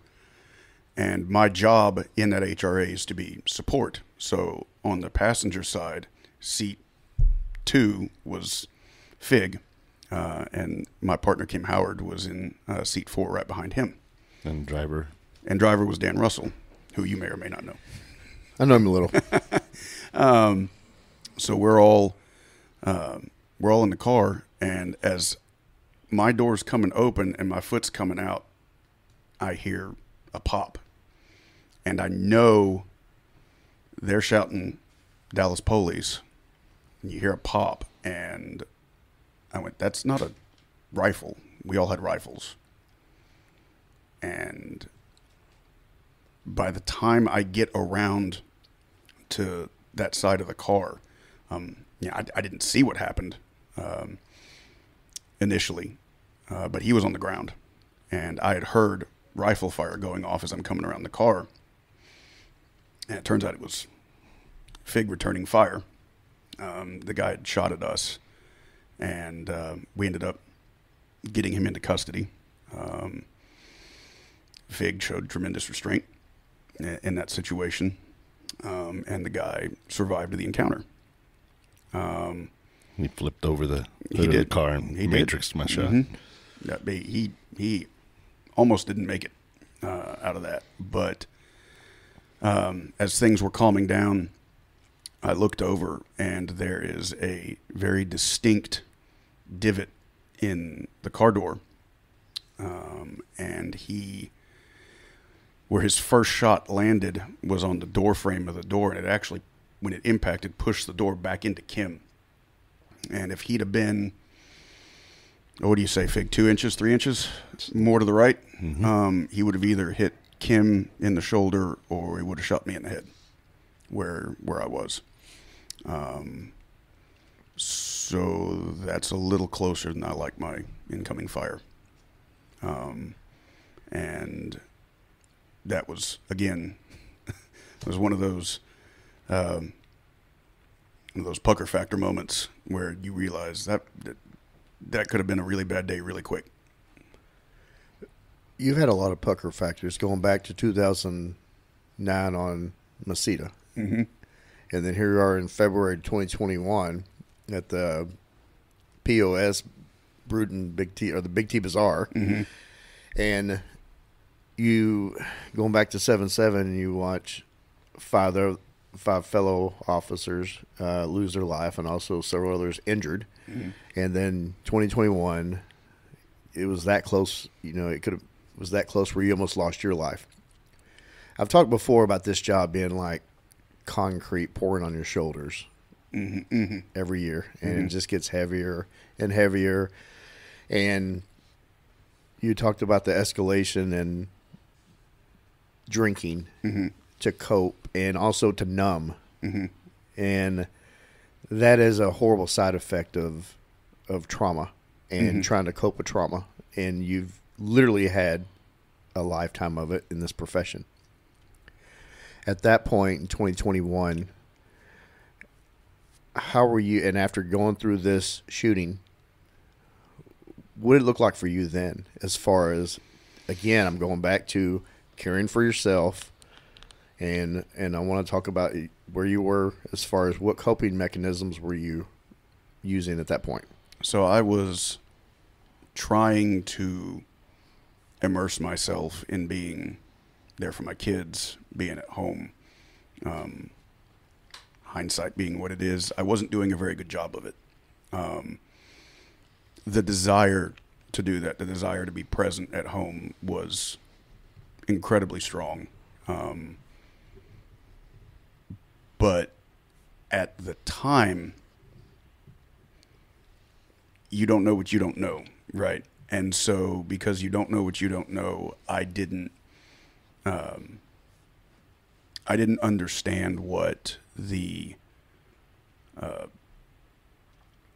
symptoms to. I didn't understand what symptoms to look for, right? I, I didn't understand that it being it taking an act of Congress for me to want to go mow the lawn, you know, or just not being able to sleep and and not and you know everybody in this job everybody in this job has the nightmares you know the standard one of you firing your gun and the bullets bouncing off the bad guy stuff like that i mean everybody Or the trigger those. won't pull. yep Yeah. hmm um but it was just it was probably not too long after that that I started to kind of think something's not right. Like again, the frog in the boiling pot of water it doesn't know the water's boiling till it's too late. The water may not have been boiling yet, but it was it was hot, um, and I just it, it, it wasn't that there was an increase in drinking; it just kept going. And again, it's a really poor coping mechanism because you know when you're trying to do that because you can't sleep well it screws up your sleep even worse all of this stuff becomes the snake eating its own tail and i remember one of the things that that stuck with me um, prior to all this i was my wife and i were watching tv we were in the living room and we were watching a comedy special. I forget who it was, but they said something funny, and I, and I laughed. Like I, was, I remember going, "Oh, that's hysterical." And my wife's looking at me. She goes, "What?" And I said, "I'm looking at her confused, like, what are you talking about?" She goes, "That was funny." I said, "I laughed." She goes, "No, you didn't." She goes, "You, you never laugh anymore." And I was like, "Ouch." uh, you know, Void of emotion. Y- yeah, and it was it was that I, you know, I thought it was funny. To me, I laughed, but to the outside world, with what she was seeing, I was not laughing. Um, and it was that was kind of the beginning of me going because she started saying, you know, you know, laugh, you know, at one point I came in or she came into the to the room and she goes, "Where are you?" Um, here? No, you're not. and I, as in many things in my life, it's taken my wife putting her foot in my backside to get me to to, to realize something. And about that time, I, I started um, thinking "Hmm, maybe I have depression. And I said that to my wife one day, and she goes, "Fucking duh." I'm like, okay, ouch again. And at that time on the department, it, it still wasn't widely talked about, and, and Oh, there no. wasn't there wasn't a lot of education Yeah. on on on that subject. nothing outside of the box check at core. You know, you would go, and it, it's not that the people that came in didn't care about it, but it's a two hour block, maybe an hour at core because they need to fill it, or maybe TCOLE requires it. You, you know, it, it's it's not. It's not that, and I'm sure the people that came in that wanted to talk about it probably would have loved to have had a whole day or a week or you know to do real classes. But it was just another class. It was just another class, and and on top of that, you know, I mean, we're cops, we're Type A personalities. Uh, You know, you would you would sit there and listen to them talk about, um, uh, you know, situations with other first responders from not not at DPD but other agencies, and you were like, well, I'm glad none of that's happening to me. But you're that frog in that bowl of water. hmm And because for those people, the water already boiled, and you know, there things have already happened to them. It hasn't happened to to me yet. So, um, good thing I'm not that guy. Or Daniel, speaking of that bowl boiling water, and you're in it and you don't realize it. Mm-hmm. I want to take you back to May 25th, 2022, when it it hit a boiling point. So that was uh,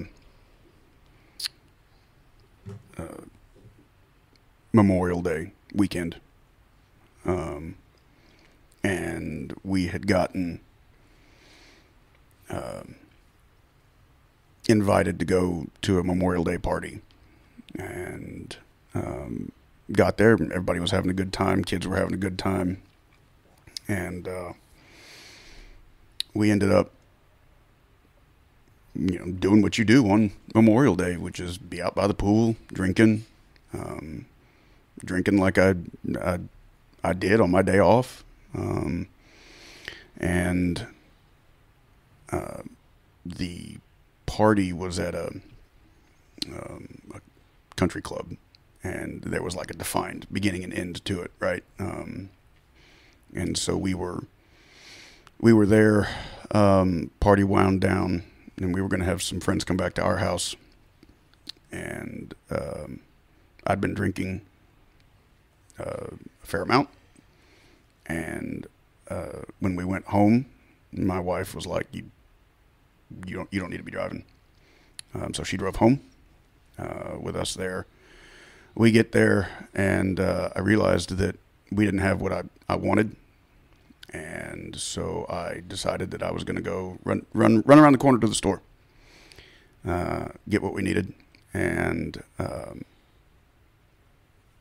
my wife was like, "Are you good? Like, are you good to drive?" I said, "No, I'm I'm fine," because I didn't honestly, truly believe that I was I was drunk. I I, I really didn't, um, and I got on my way down there to the store, um, I guess I was weaving pretty good because a citizen called in and said that I was weaving.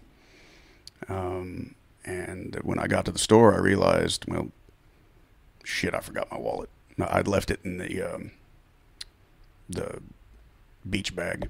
Um, you know, I didn't have it with me, so I'd forgotten to pull it out. So I was going to drive back home, and uh, I didn't realize it, but. Uh, police had been waiting on me. And uh, I got out on the street and they pulled me over.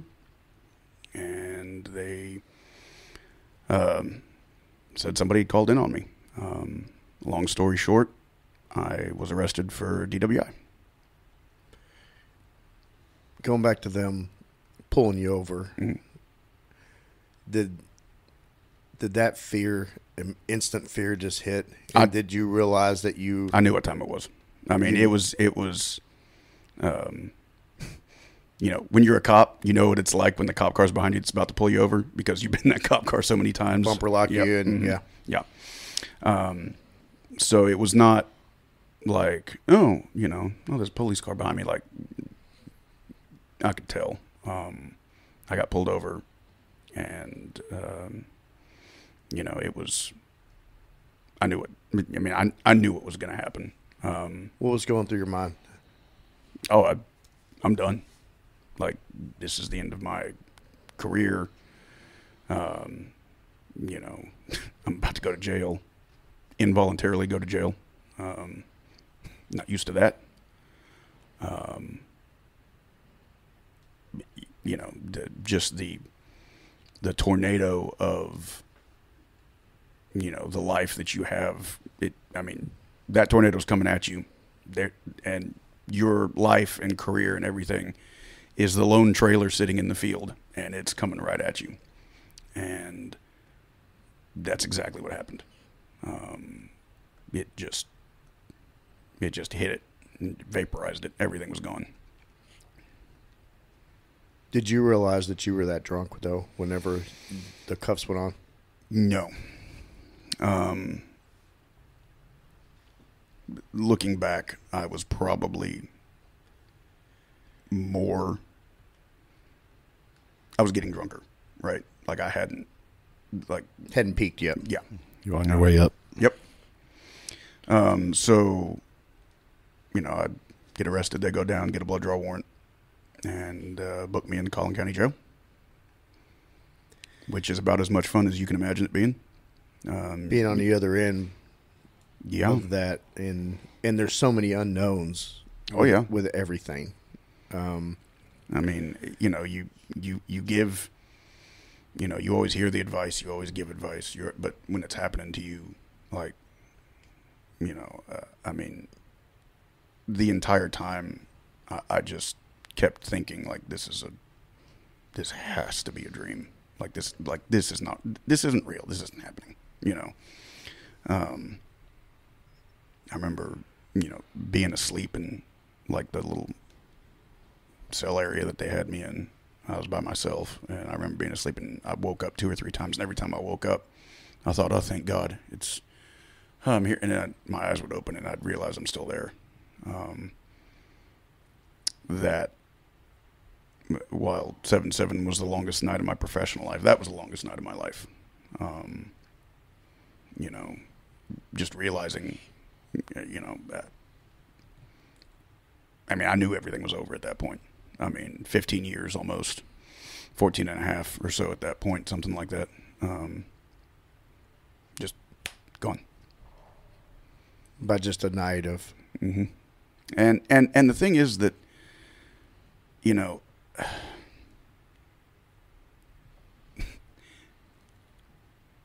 like I didn't do that. Right. The, you know, looking back, that that wasn't that wasn't something I did. I mean, you know, we didn't go out and drink. Uh, most because it, it was too expensive to go out to drink. Why not just stay at home? You know, I mean, it's it it's safer, it's easier.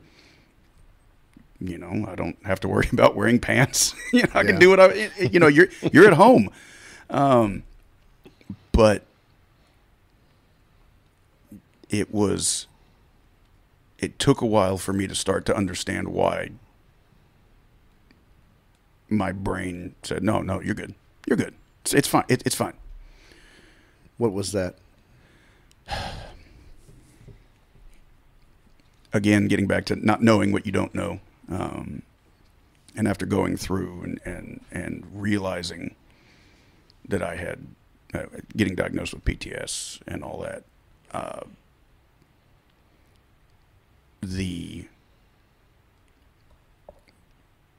your brain needing that stimulation and the risk taking and just being being reckless about things. Um, you know, when you get motivated to do something, you're not doing things the right way, um, and it's just it and your brain just skips over those steps. and the the the speed bumps that get that you put build yourself. You know, I'm I'm not going to do this. This isn't okay. You know, this is a hard line. They start to get smaller, start to get torn down, and you know you're you're doing things. You know, uh, you know, and, and thank God, thank God that, that I didn't run into anybody that night. Thank God I didn't hurt anybody um, because I could have. I, I mean, I I got very for as unlucky as as as I was, I got very lucky that night. Um, you know, it was the stupidest decision I could have ever made. I mean, hands down. I don't. I can't imagine a stupider decision to make. And cost me. So these deals have ramifications past just you, right? Right. It- Oh, yeah. I mean, as a father, as a Mhm. husband, how do you think that affected the rest of your family?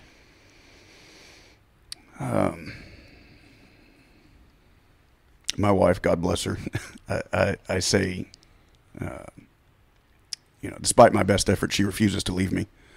Um, you know, she she knew something was wrong. Again, she didn't know what.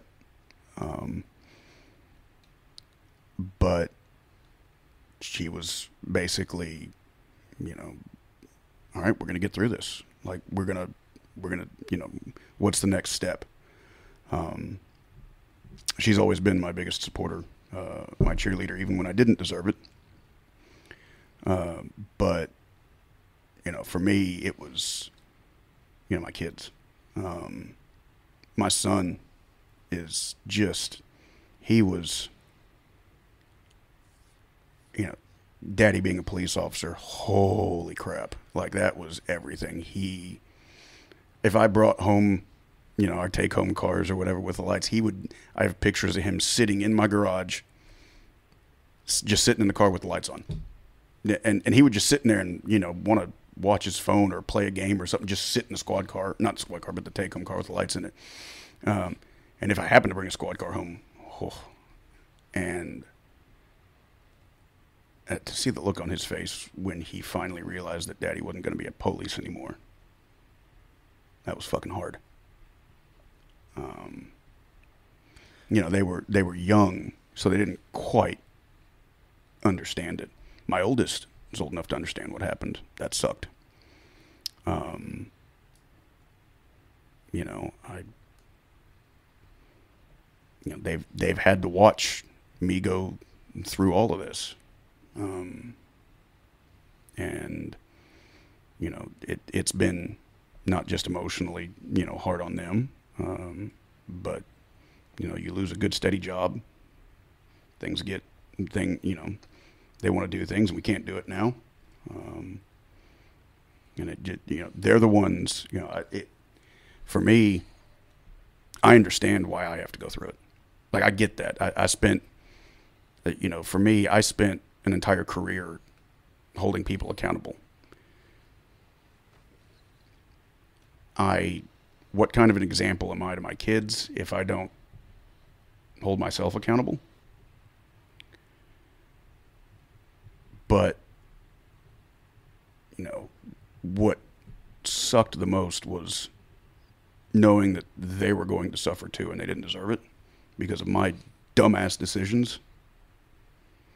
Um, that's one of the hardest things that I, one of the hardest things that I, I I've continually had to deal with on this is just you know people that and, and my wife too you know everybody suffered because of that. When it's also going into like heroes have flaws and heroes have weaknesses. yeah. You're their hero. yeah. And you know it sucks to watch your you know what do they say? Don't meet your heroes? Um it it uh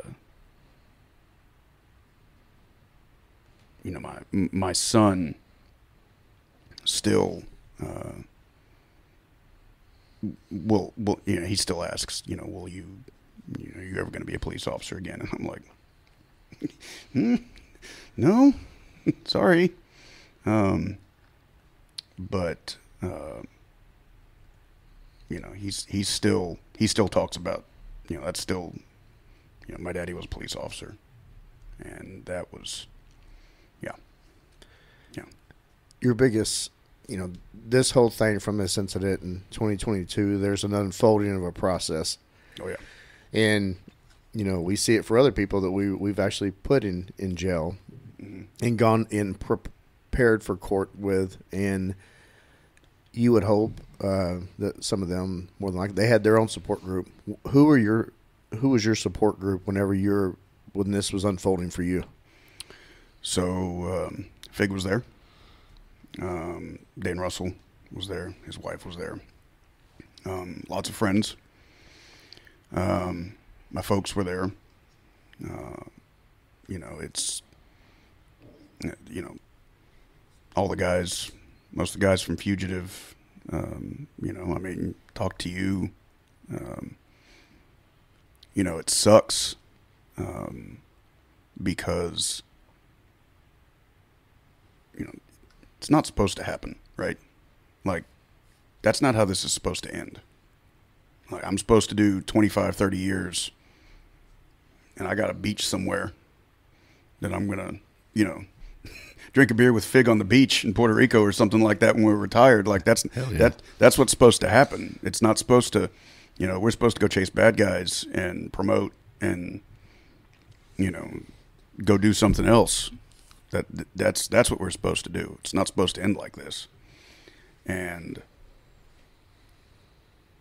these guys, you know, I let every one of them down. I let Fig down, let you down, let you down. Um, because that's not supposed to happen. And I I remember sitting there, you know, with Fig or Dan or getting people reaching out, like n- not feeling like I deserved that support because, you know, I mean, I what what's the worst thing I could do at this? I mean, this is one of the worst things I could do. Um, you know, I violated you know their trust, my family's trust. Um, yeah, it was. It, it, I, I had lots of friends, um, but I'll tell you, at the time, I really didn't feel like I deserved what they were, you know, the the help and the love they were offering. If one of those friends had come to you and said, "Hey, you got a problem right now. You need to get some help," would you have listened to that, or was were you at that point yet? I've spent a lot of time thinking about that. I would like to think that I would have, but again, you know, unfortunately, we have this conversation with the benefit of hindsight, right?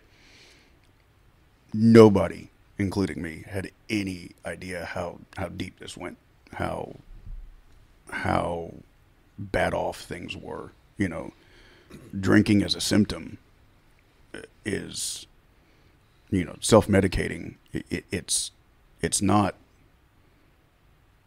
Um, it's not. Uh, what's the word I'm looking for?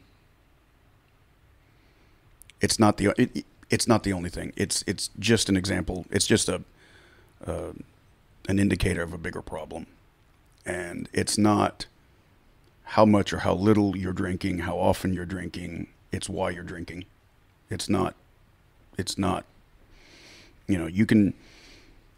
You can drink once a week and be an alcoholic. It it's not. You know, and you can drink every day and not be an alcoholic. It it's it's not that you're drinking. It's why you're drinking. And for me, you know,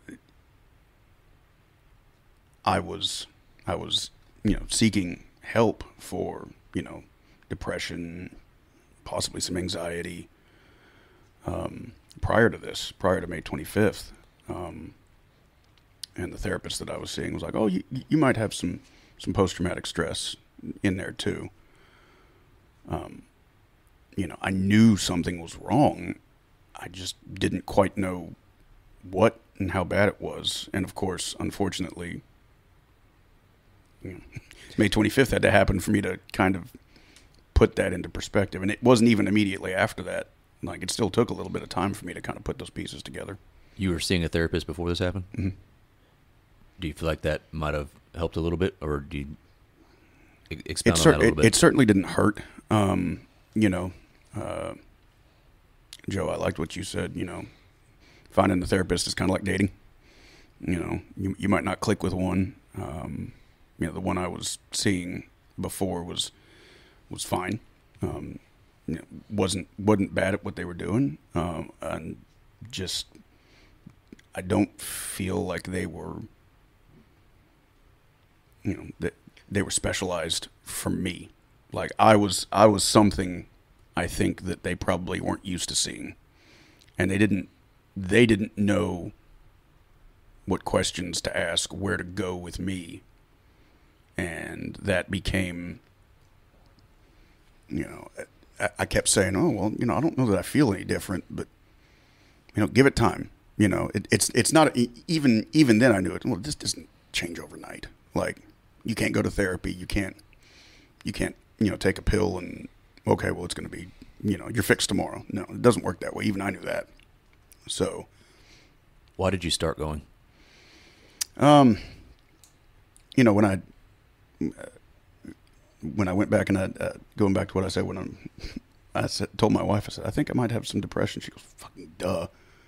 Um I, I was like okay well let me go start seeing somebody to you know see what they say. And they were like okay well maybe you should try talking to your doctor about getting on an antidepressant. And i tried that. And you know again we have these conversations with the benefit of hindsight. Um, you know i got put on a starter dose of an antidepressant. It just wasn't enough you know? Um, i didn't know if i was any better. Um, and i continued that kind of through in, and and after May 25th. Um, and I remember, oh, when would it have been? Probably July. Um, you know, we were just in kind of holding pattern, you know, with, you know, the case and the profession and all that. Like I was still on administrative leave. Um, they hadn't, they hadn't even I don't even think they'd gotten the blood work back yet. Um, and they, I was having a conversation with my wife one day, and um, I said, "Do you think I'm I'm doing better? You, you think this medicine's working?" She looks at me. She goes, "No." I was like, "Oh, ouch, thanks." Um, but um, you know, I've learned over the course of my 21 years with her um, that you know she'll tell me what I need to hear, not necessarily what I want to hear. And uh, I remember, I think I texted Dan. I was probably texting you, Fig, too, at the time, and I was like, I, you know, I don't, I don't think this is working, right? Like I don't, I don't know. And again, with the benefit of hindsight, uh, I was probably getting worse um, because there was the added stress, right? Uh, Added uncertainty. added uncertainty, um, and it just it was getting yeah, it was getting worse. Um, Can you talk about 3FTL and how that got going? So that's because of you.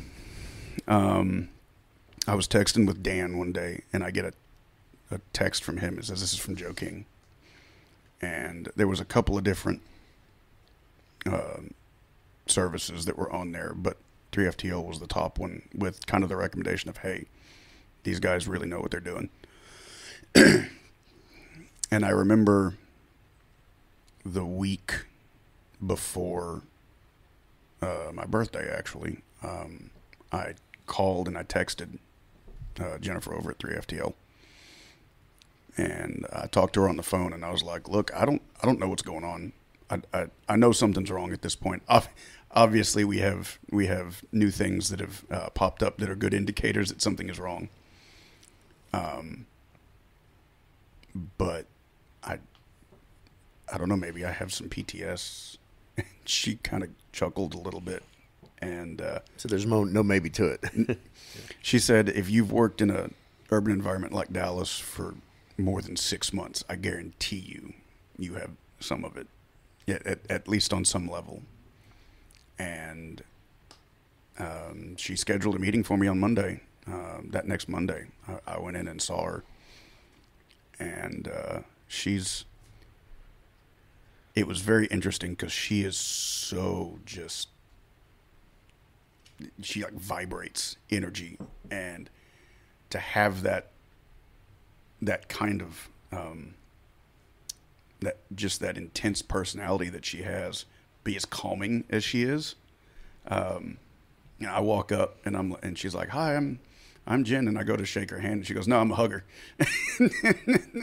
I'm like oh okay we're doing this and I I thought I was there to kind of like I, I didn't know what what to expect. I thought I was there for like a consult, and she was like, "All right, this is what we're gonna do." And she's like, "We're gonna do this. We're gonna take your blood. We're gonna we're gonna check all these things. Um, you know, I'm gonna set you up with this counselor. I have a list of counselors that are phenomenal. We've had them all ourselves." And I'm like, "Oh, so this is happening?" And she goes, "Yeah, this is happening." And that uh, treadmill had been turned on. oh yeah, It was going. Yep. So the hardest part was probably deciding, hey, I need to call these people, and everything else from there got real easy. Well, I wouldn't say easy. I mean, the process of getting it- it- started. yeah, it, it was. There were a lot of things that um, she it, she would ask me questions about. You know, how how do you feel about this, or how's this? You know, how's your sleep? Is is this happening when you sleep? And I'm like, yeah. And she's like, okay. And and I was, uh, she was like, I I hear this all the time, you know, and that was kind of the the the big thing i that I I kind of realized was how lonely I, you know, I mean, you get isolated. O- literally overnight, I was isolated from every virtually every friend I had, Your Um, identity was taken. and it's very, very lonely. So e- even I mean, I was in a house surrounded by my wife and children, and I was completely alone. And um, it's not a good feeling. And Jen was very, very emphatic. Um, you know, there's these things you can go to these groups with other first responders. She goes, anybody you talk to is going to know what you're going through. This is that like you are not alone, and that was very um, uh, it was really important. I think uh, I, I've been lucky in life of ending up in situations where I get what I need right when I need it, you know, and that was one of those situations where I kind of landed with 3FTL right when I needed them. Um, and I mean, they were doing everything there. Everything was in house. They were, you know, checking hormone levels.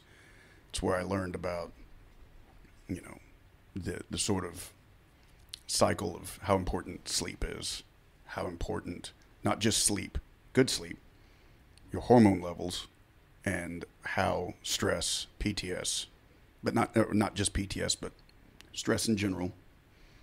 What happens to your body when you're bathed, when you're just constantly taking cortisol baths, what that does to all your other hormone levels, and how cyclical that becomes, and the circle just gets tighter and tighter, and like the snake eats its own tail because you're stressed and you're drinking. Well, that screws with your hormone levels, which get lower.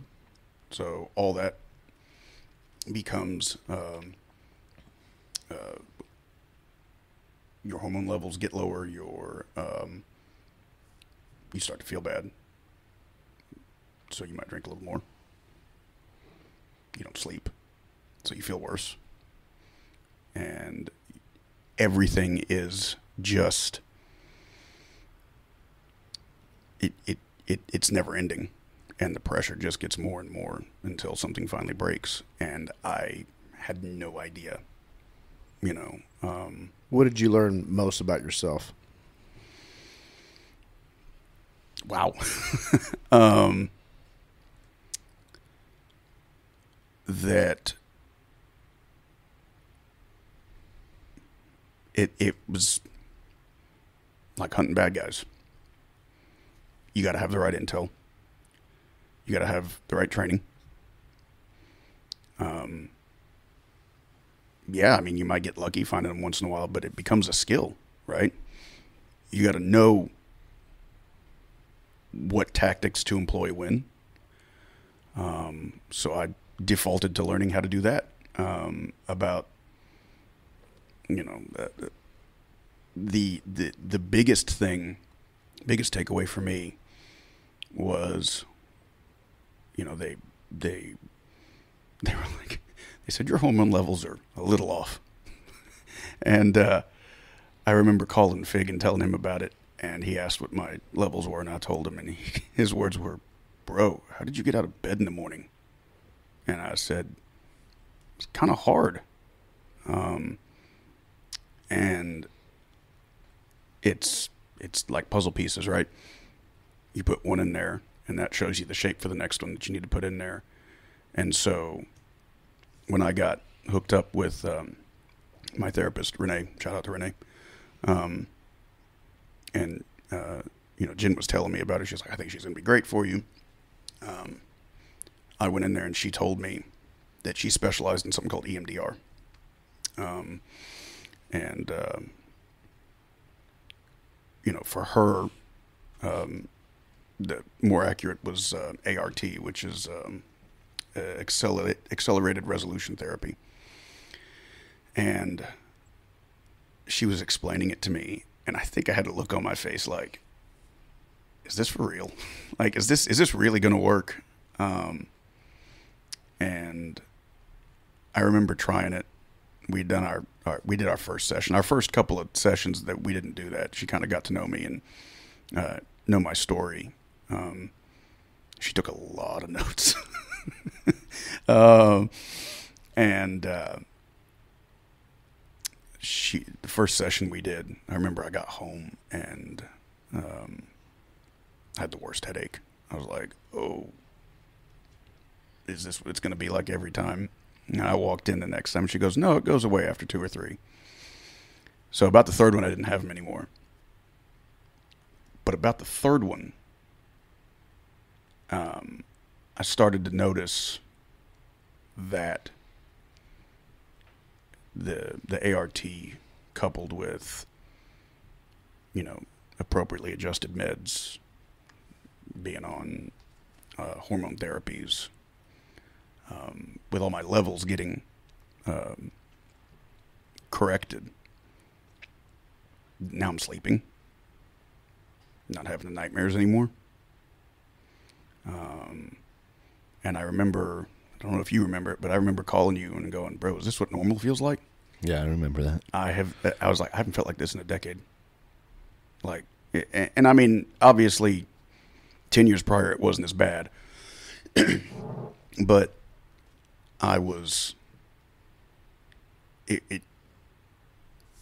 I didn't. I didn't know what I didn't know, and being going down through that through all that and, and learning uh, what the puzzle pieces are supposed to look like and how they fit together. I remember just sitting sitting there one time. I was probably the same conversation. I said, "I wish I'd known this five years ago." It, So finding that uh, that counselor with three FTL compared to who you were seeing before, yeah, that, that that that made a that made a difference. It really did. Um, you know, and and personality wise, like I didn't get away with anything. you know, which I guess is what I need. she read Uh, right through your bullshit. Oh yeah. Um, you know, it's almost like she knows what she's doing. Um, and so, uh, but she she really knew. I mean, she really knew what she was doing. And I remember that she said the the standard course of therapy for that's like up to twelve, and she goes, but most people never need twelve. Um, and we stopped doing the ART after seven seven sessions. I was like, I, I I had no idea that that I could that I felt as bad as I did. You know, looking back down the road, I'm just like shaking my head.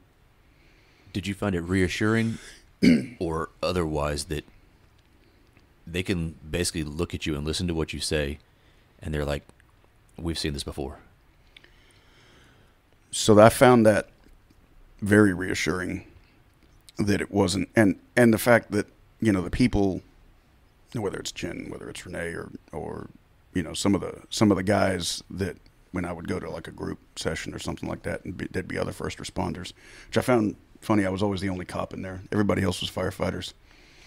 Um, but they could describe what I was feeling. They could they could describe what I was. They could pretty much say what I was going to say, like my next sentence. They already knew what I was going to say. Because they've been there. Yeah, and that was a big that was a big help. That was a big help. See, I have mixed emotions on it. I don't know if it's if it's reassuring or if it's just kind of spooky to me. Like I'm like, eh, you know, maybe you haven't. Maybe I don't know if I'm the weirdo and everybody else is normal, or if we're all just kind of screwed up the same way. And so it's my my son's reading a, a self help book right now on. Uh, I really don't even know what it's all about. We've we've only gotten through a couple chapters, and he likes to talk about it. But I said, "Do you feel like sometimes they're speaking directly to you, and is that weird to you?" And he was like, "It is a little bit weird, but because it doesn't always, it's not exactly how I feel." And I was like, "I know, but it's weird that that somebody has experienced this enough to where they feel like they can write a book about it now. So you're you're not a weirdo because you feel this way. You're just like everybody else, and that part kind of scares me too. Yeah, uh, you know we our brains all function the same way. You know, um, The chemistry is the same. And it's like a watch with all the little moving parts, and whether it's hormones or the uh, cortisol, adrenaline dumps, eh, we all have more. Some have more, and some have less than others. But And I- it still is a machine. and I went. I I know after seven seven, um, Sergeant Nash had told me he wanted me to go talk to somebody, and I went through ATO and saw. I, I don't remember who it was. Um, I saw somebody, and you know, I, I talked to him, and we were there for about an hour, and they said, you know, you sound, you sound pretty good, and at the time I probably was. Right, my brain was doing what it was supposed to do. Right, it was taking that trauma and and bearing it because I had to continue on. Um, you know, the analogy that I I use is, you know, you get a, a chemical plant on next to a river, and they take a 55 gallon drum full of that toxic waste and they go bury it next to the river and they cover it up. What happens the next day? Nothing. What happens six months later? Maybe still nothing. What about two years later, after the started to rust and the chemicals are eating away at it, and now all of a sudden those chemicals are leaching out into the water and everything's flowing downstream and poisons everything down from there. Um, you know that it was too too fresh. It was too, you know, that was within a month of seven seven. Um, you know what I went through was objectively traumatic, um, but my brain hadn't processed it. It had just taken that toxic waste barrel and buried it down into the ground, and it was just sitting there Waiting. waiting. So we've just kind of gone through an entire life journey, been born in Germany, Mhm. given up the very short-lived dream of being a stagehand prop setter, having an exemplary police officer career, to going through a life-changing arrest in 2022. And like I said earlier, that er- all these processes unfold at their own pace. They're not easy and they're not pretty for anybody, uh, especially administratively. And you get called to the headquarters for a hearing to uh, learn your fate. Can you talk about that?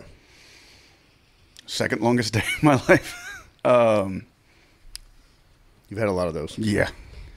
Um, you know, I walked in there and, and Fig was there too. Uh, you're at a lot of those.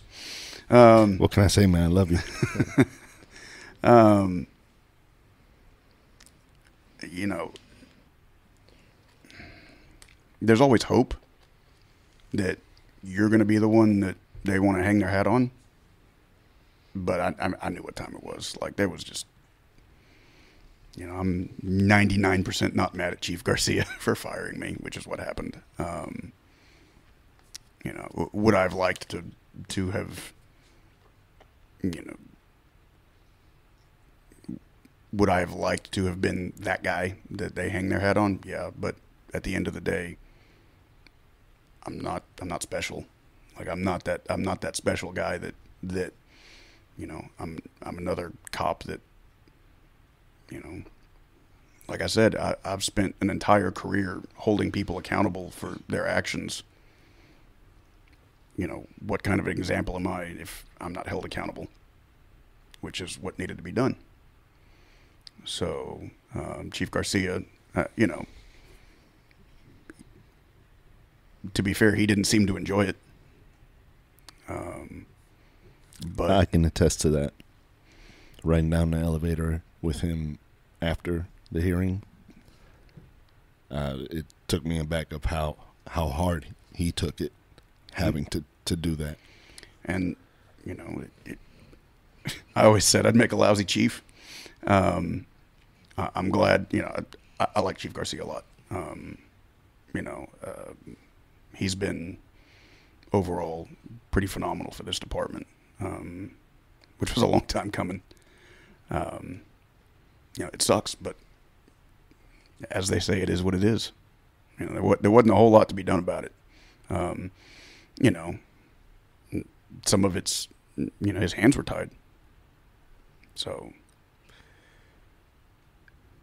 Well, of all that comes out of this is that you now have more tools to help yourself and and and make your your own machine work better than it did before 2022 oh yeah, because that's for you your future and for your family.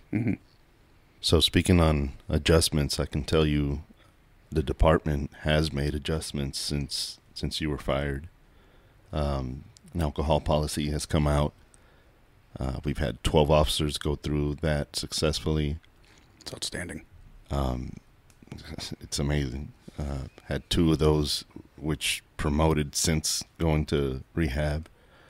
And um, I can tell you when we were in discussions of coming out with this uh, alcohol policy, I brought your name up to to the chiefs, and I told them that we failed you as a department. We failed you, and we failed several other officers before you because you know uh, we go through a lot of shit in this career, man, and uh, and and we just didn't know how to how to deal with it, right? So now, um, you know, it's too late for all of you guys, right? But from now on, there there is something available, and uh, that's what we're here for. And I'm going to piggyback off that too, as far as yes, you you're a casualty of of this profession, and what you experience and what your friends and family have experienced, and they're still experiencing it. They're still going through this trauma with you, and your journey is not over. But I will say that sitting in this very room for a lot of the people that that we have talked in of the 12 that we have talked into and encouraged to go get help it's rewarding but then also it is it really hurts to see one of our own get arrested. And we just come on the heels of two other uh, officers that were in the same situation you were in back in 2022 and if if they can take anything away from from your life experience, your professional experience, and what you went through from just the trauma alone into the to the drinking to cope into your your arrest. I, I want them to realize that they're not alone, and every time that you you go out and you drive, or you don't, or you ignore the warning flags, the red flags that are waving in front of you, you're really rolling the dice on your life and your career. Yeah. Um, it's uh, can confirm not worth it. I have a final question. Now, and you, you you've referred to speaking on from hindsight uh, for the last two hours, mm-hmm. and it is very very valuable to have that. What would 2024 Daniel Jamieson tell 2022 Detective Jamieson? from the day you start the academy. Uh, and every FTO you have, every partner you have, every Instagram page that you follow, they always talk about listening to your listening to your gut, right? When the hair on the back of your neck stands up, it stands up for a reason. For me, I knew I could tell something was wrong. I didn't know what. But I needed to. Yeah, I, I ignored the hair on the back of my neck. Some of that is. No, I, I, I'm good. I got this. Well, if you say I got this, you don't got it. If you think something is wrong, it's probably wrong. I mean, they tell you that all the time here. If you think if you think something's about to go down, it probably is. You know, when when your brain is literally screaming at you, listen to it. And yeah, it gets heavy and it's not easy, but nothing worth it ever is. It is a um, painful journey, staring the trauma in the face, looking at it. But at the end, in, you know, for me, the EMDR worked great. It doesn't necessarily work for everybody. It's not the only treatment. It's not the only therapy. There's there's plenty of other things that are out there. But do something. Stop. Just don't sit on your ass listen to your body. Even even as a preventative, start talking to somebody. I mean, the, the things there could be things bothering you that you don't even realize are bothering you. And take care of yourself because a lot of people don't. And you know, the frog in the boiling pot of water is very real. Sometimes for me it, it I came to the realization too late. If somebody can listen to this podcast, if somebody can listen to this and go, "Oh, that sounds like me," oh man, um, then I think it'll be worth it. Just because I'm not a cop anymore doesn't mean I'm not a cop anymore. Hey brother, hey sister, I'll never give up on you. Hey Mrs., hey Mister, I'll see this all the way through. No matter how far the sun and the moon, I'll never give up on you.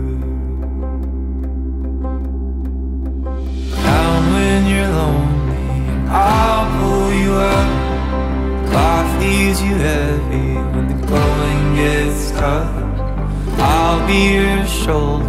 Together we'll run up from the bottom. Yeah, we'll rise above. Hey brother, hey sister, I'll never give up on you. Hey Mrs., hey I'll see this all the way through. No matter how the sun and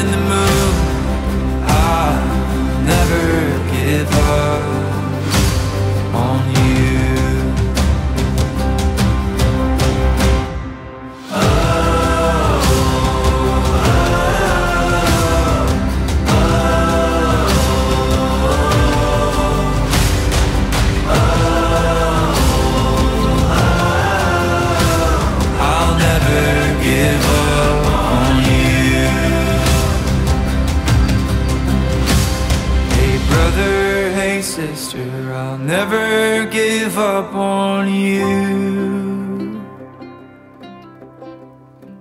Hey Mrs., hey Mister, I'll see this all the way through. No matter how far for the gold and the blue, I will never give up.